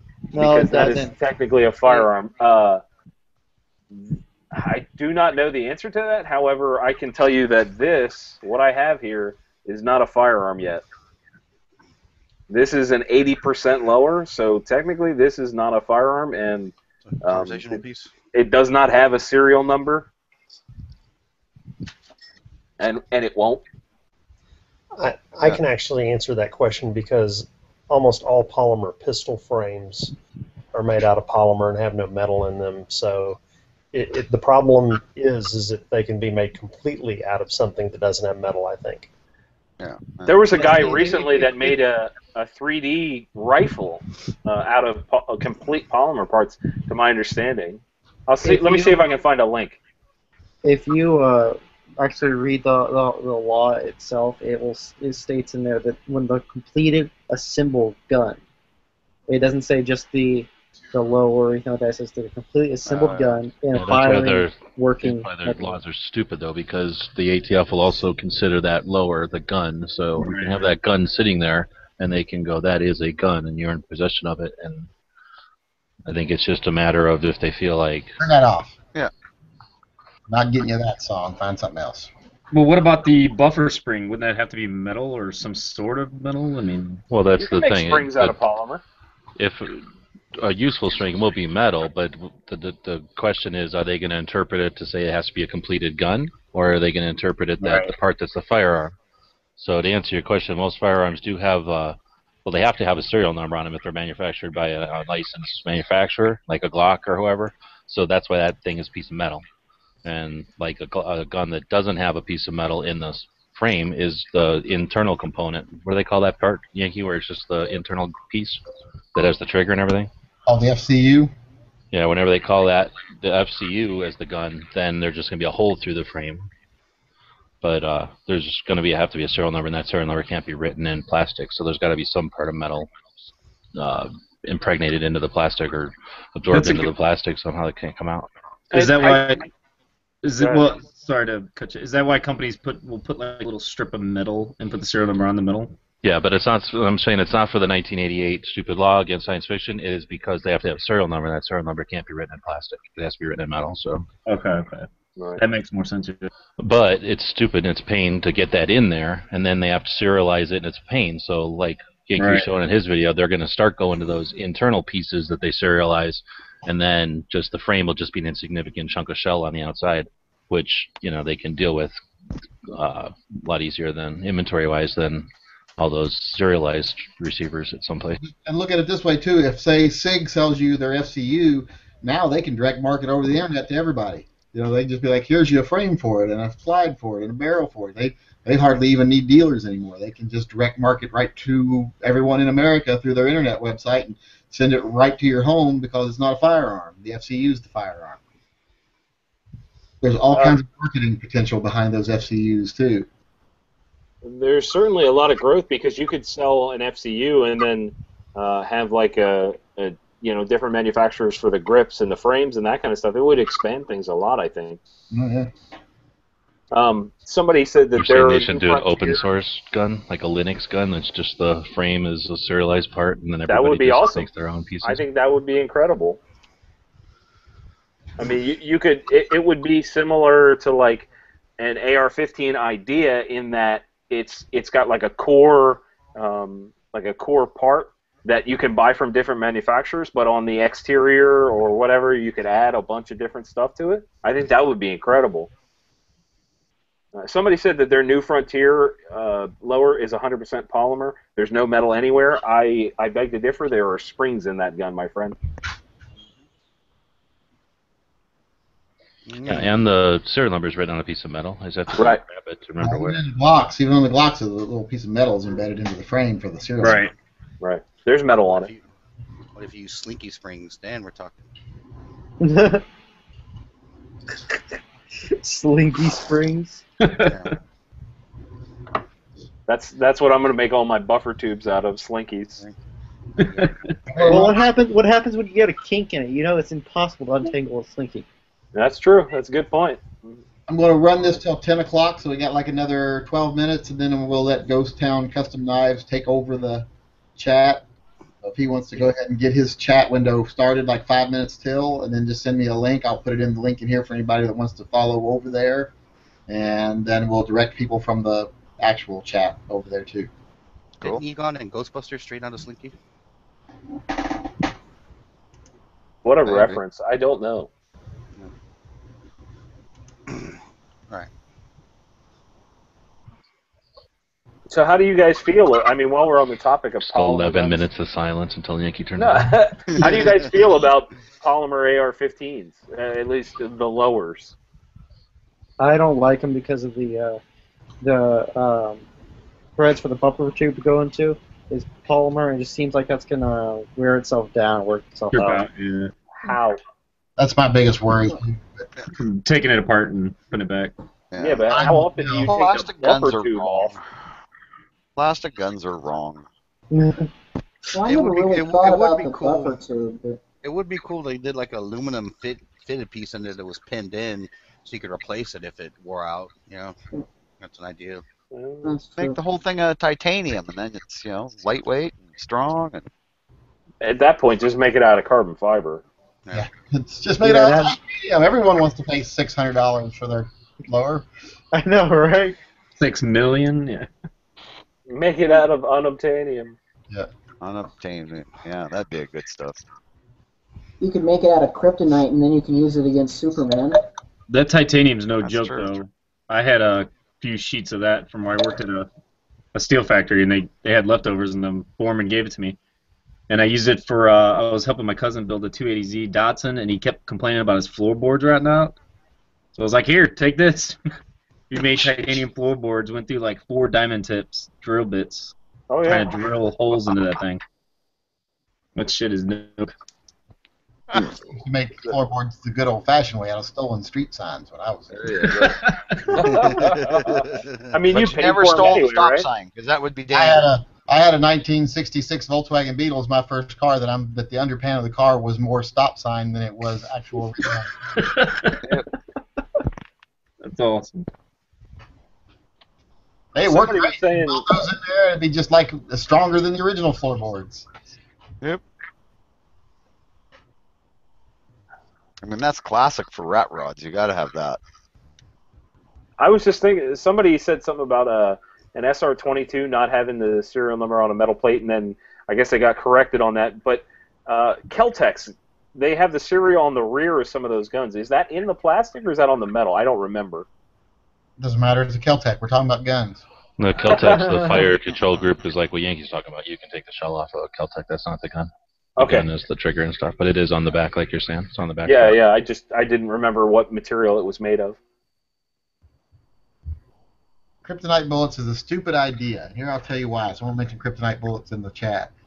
Superman weakens with exposure to kryptonite. He's still got his full strength when he first. So if the bullet hits him, he's still going to be in, invulnerable when the bullet first gets there. It would have to like wait around for a second for it to take effect. So kryptonite bullets is the stupidest thing I've ever heard. Well, What what, about about if they were pepper spray, then? 45s? Well, what about if use- they're, if they're 45 ACP? Because they'd be moving so slow. Exactly. Yeah. What about kryptonite pepper spray? Yeah, kryptonite pepper spray works to stay on the skin. Yeah. Yeah, that'd mess him up good, actually. Take a paintball gun, load it up with paint that's mixed with Do you, think, you do you think you could draw that pistol on him though, and pull that trigger before he gets to you? Well, you'd have to shoot him from behind, but you know. Well, if they got a setup like a flamethrower almost, except it doesn't actually. Superman from flame. behind. What kind of asshole Canadian would shoot Superman? from behind? Captain Canada. He's not stupid. He knows that's the best way to get Superman. Yeah, but he's They don't- way too polite to do that. That's They true. a- He'd- He'd say, Captain "Excuse me, sir." Excuse me, buddy. Okay. Yes, we have a Captain Canada. There's actually a new one coming out. Apparently, he's even politer. Does he come with bagged milk? Yeah. I, I won't let that shit go. It was it was a good way to sell milk. No, it isn't. Yes, it is. All you have to do is get a jug for it, and then you just cut the corner does- off the bag and pour it from the Or, jug. or you could great. buy it in the jug already, and then you don't have to do that goofy shit. It saves garbage. no, it doesn't. save Hold on, the Bob. But to environment. reuse your uh, Use container. that Hey, garbage for hey, something hey, else. Yeah, Yeah, you reuse your container, right? And and it's in a plastic bag, so it cuts down on all that volume. It's like Tetris packs. Yeah, we should have that. Over in Japan, you actually get a lot of drinks in bags nowadays. Well, So and you know in what's, Japan what's a Tetris pack? watermelons. Uh, Tetris pack, except something in a bag, really, but with you know cardboard around it. None of us know what you're talking about when you say Tetris. A, a Tetra Pak is is like um, what condensed milk comes in sometimes. It's it's essentially a, a cardboard container that was a bag that it, it, it gets folded around so A it's juice uh, box? square for shipping. It's yes, like a juice essentially, box, yeah. it's very Box similar to a juice box. That's what a juice box Okay. comes in, basically. Yeah. Like I don't like juice boxes. No, I'm just You- you- saying it was so that G kind of Webs is above juice boxes. What's up with that, bro? I don't like juice boxes. It's a bastard container, and I won't accept it. I will, however, I'm open-minded to the bag idea because that will save. What about. Capri Sun? That's like an in between. Hate 'em. No. That's a fake drink inside of a fake container that shouldn't exist. Hey, respect the pouch. Totally European. Whatever. If you want to go live in Europe, go live in Europe. It's America. I'm sorry. I'm sorry. I thought this was America. America. Yeah. America. Uh, that's the people say it's like when the kids started playing the video games. It's when they started drinking that Capri Sun crap. Those little pouches. That's when America started to turn in. Those Get you- those No, little I was pretty- juice I was pretty boxes sure are good for it was my that kids, rock and roll in the I can't 50s. Get them. Why have I got my headphones in on? I don't have them plugged in. I thought it was the flappers of the 20s that destroyed the United States. That could have been. No, no. They were pretty crazy. I mean, that's when like girls with short skirts and showing their ankles and even their knees and Yeah, in a lot of ways, that's what created pro- prohibition, you could say, and then that's what really screwed it us up because that's what created powerful criminals. yep. Okay, there's the cowbell again. Oh, he was gone. He must have something like hollow. I don't know what or it something. is, but it's often. Whatever it is. Cody made a good point. Uh, you guys were talking about, you know, bag drinks in Japan. Well, drink, uh, Japan also has used panty vending machines, so that's not really a good example. Yeah. Yeah, well, yeah, Jap- Japanese. I mean, their most popular porn is is anime, which is like cartoon porn. And, and then It's called always, hentai. And tentacles. Yeah, there you go. It always has to do with tentacles. Don't, don't they celebrate the penis over there too? Like have a big Yep. penis celebration? Yeah, they have This, big fair. this They is what carry chat big floats of to. penises around. it. Well, well, in Finland, they have the Museum of the Penis, where they have specimens from Why over do you know 150 that? different animals. That's what I was And just why did you to feel ask. important to share it with us? Guys, I just got back from my trip to the penis museum. And I got a combo. That place is a waste of money. Uh, So I much hype. got back. it, it was all hype. It was like the Keltec of museums. Yeah. Hey, hey guys, Yeah, I just got back from Finland. You won't believe how many penises I saw. the food sucked, but the tips were big. Oh my god. They always get Is people this New England or New more. Zealand? Mm, well. Has uh, uh, Ghost Town Custom Knives, you got your chat started up yet? Send us a send me a PM me a say link. anything in a while. PM me a link so I can post it up here. Is he even still in the chat? Did he, he just went tease on us and then run off? I don't know what he. He If probably he got start one, if he doesn't start one up, I'll do one. museum comments. I'm gonna be super tactical.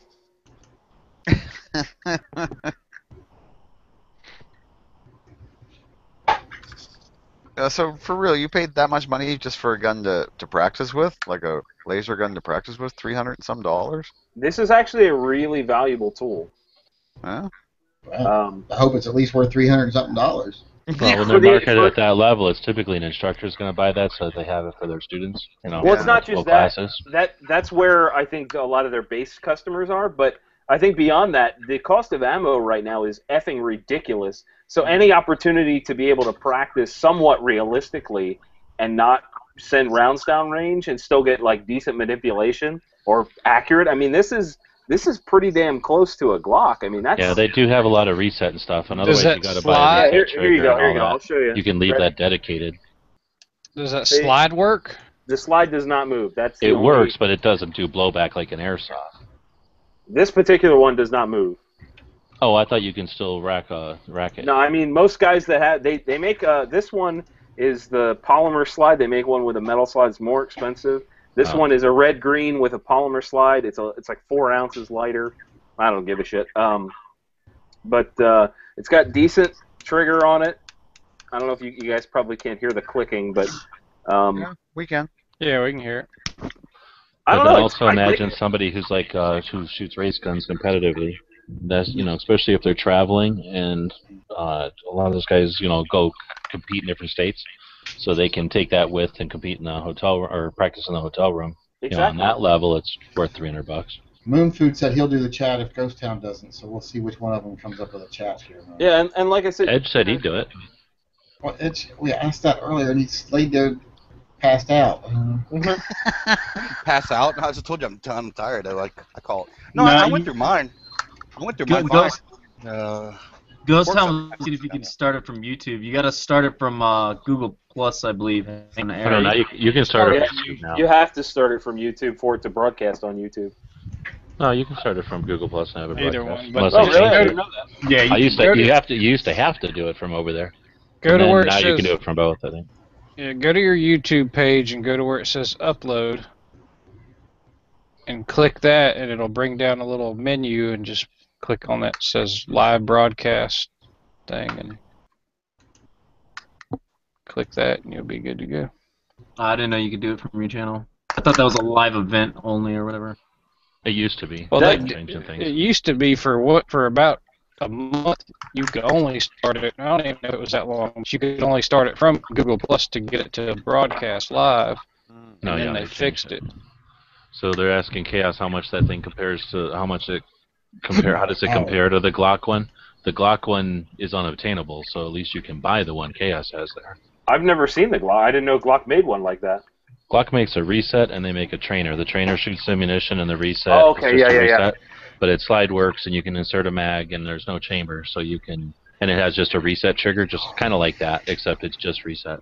Right. Anyway, they're Oh, see, that looked like a Glock. You have to Glock be to a me. Glock armor and you still can't get them. I mean, this is this is shaped very very close to a Glock 17. That's what I thought it was. Yeah. Yeah, that's that's their intention. Um, the guy who is actually, I believe, the owner of the company that made this was, um, oh, what is his name? I don't want to get it wrong. He was on Top Shot. I, I gotta think of his name. I think it's Mike Hughes. Does that sound right? Let me look.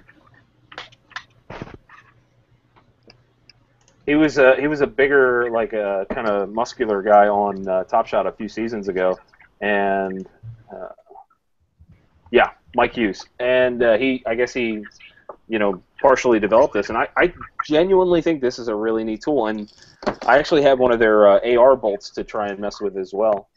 It replaces the bolt carrier group and uh, sends a laser down your bore, so that you can practice similarly.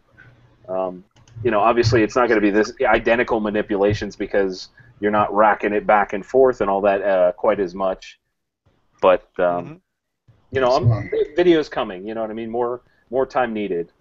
As soon as, as soon as uh, custom gets this up and running, we'll be out of here. So we're just waiting now, so I can post a link and direct people over. So as soon as he gets it up and sends me a link here, we're going to end this. So People watching can go off of his name in the chat, though. You can just click on his name of his channel there, then go to his feed, and you'll see the thing that he started. I was started. trying to get an inside link though for people here who want to transfer over over to his uh, chat. If That'd be anybody, a smart uh, way to do it. Yeah. I don't know if he has my PayPal Transfer. account. uh, that's right. I'm sure he can get it just off the bathroom wall like the rest of us did. Call for a good time.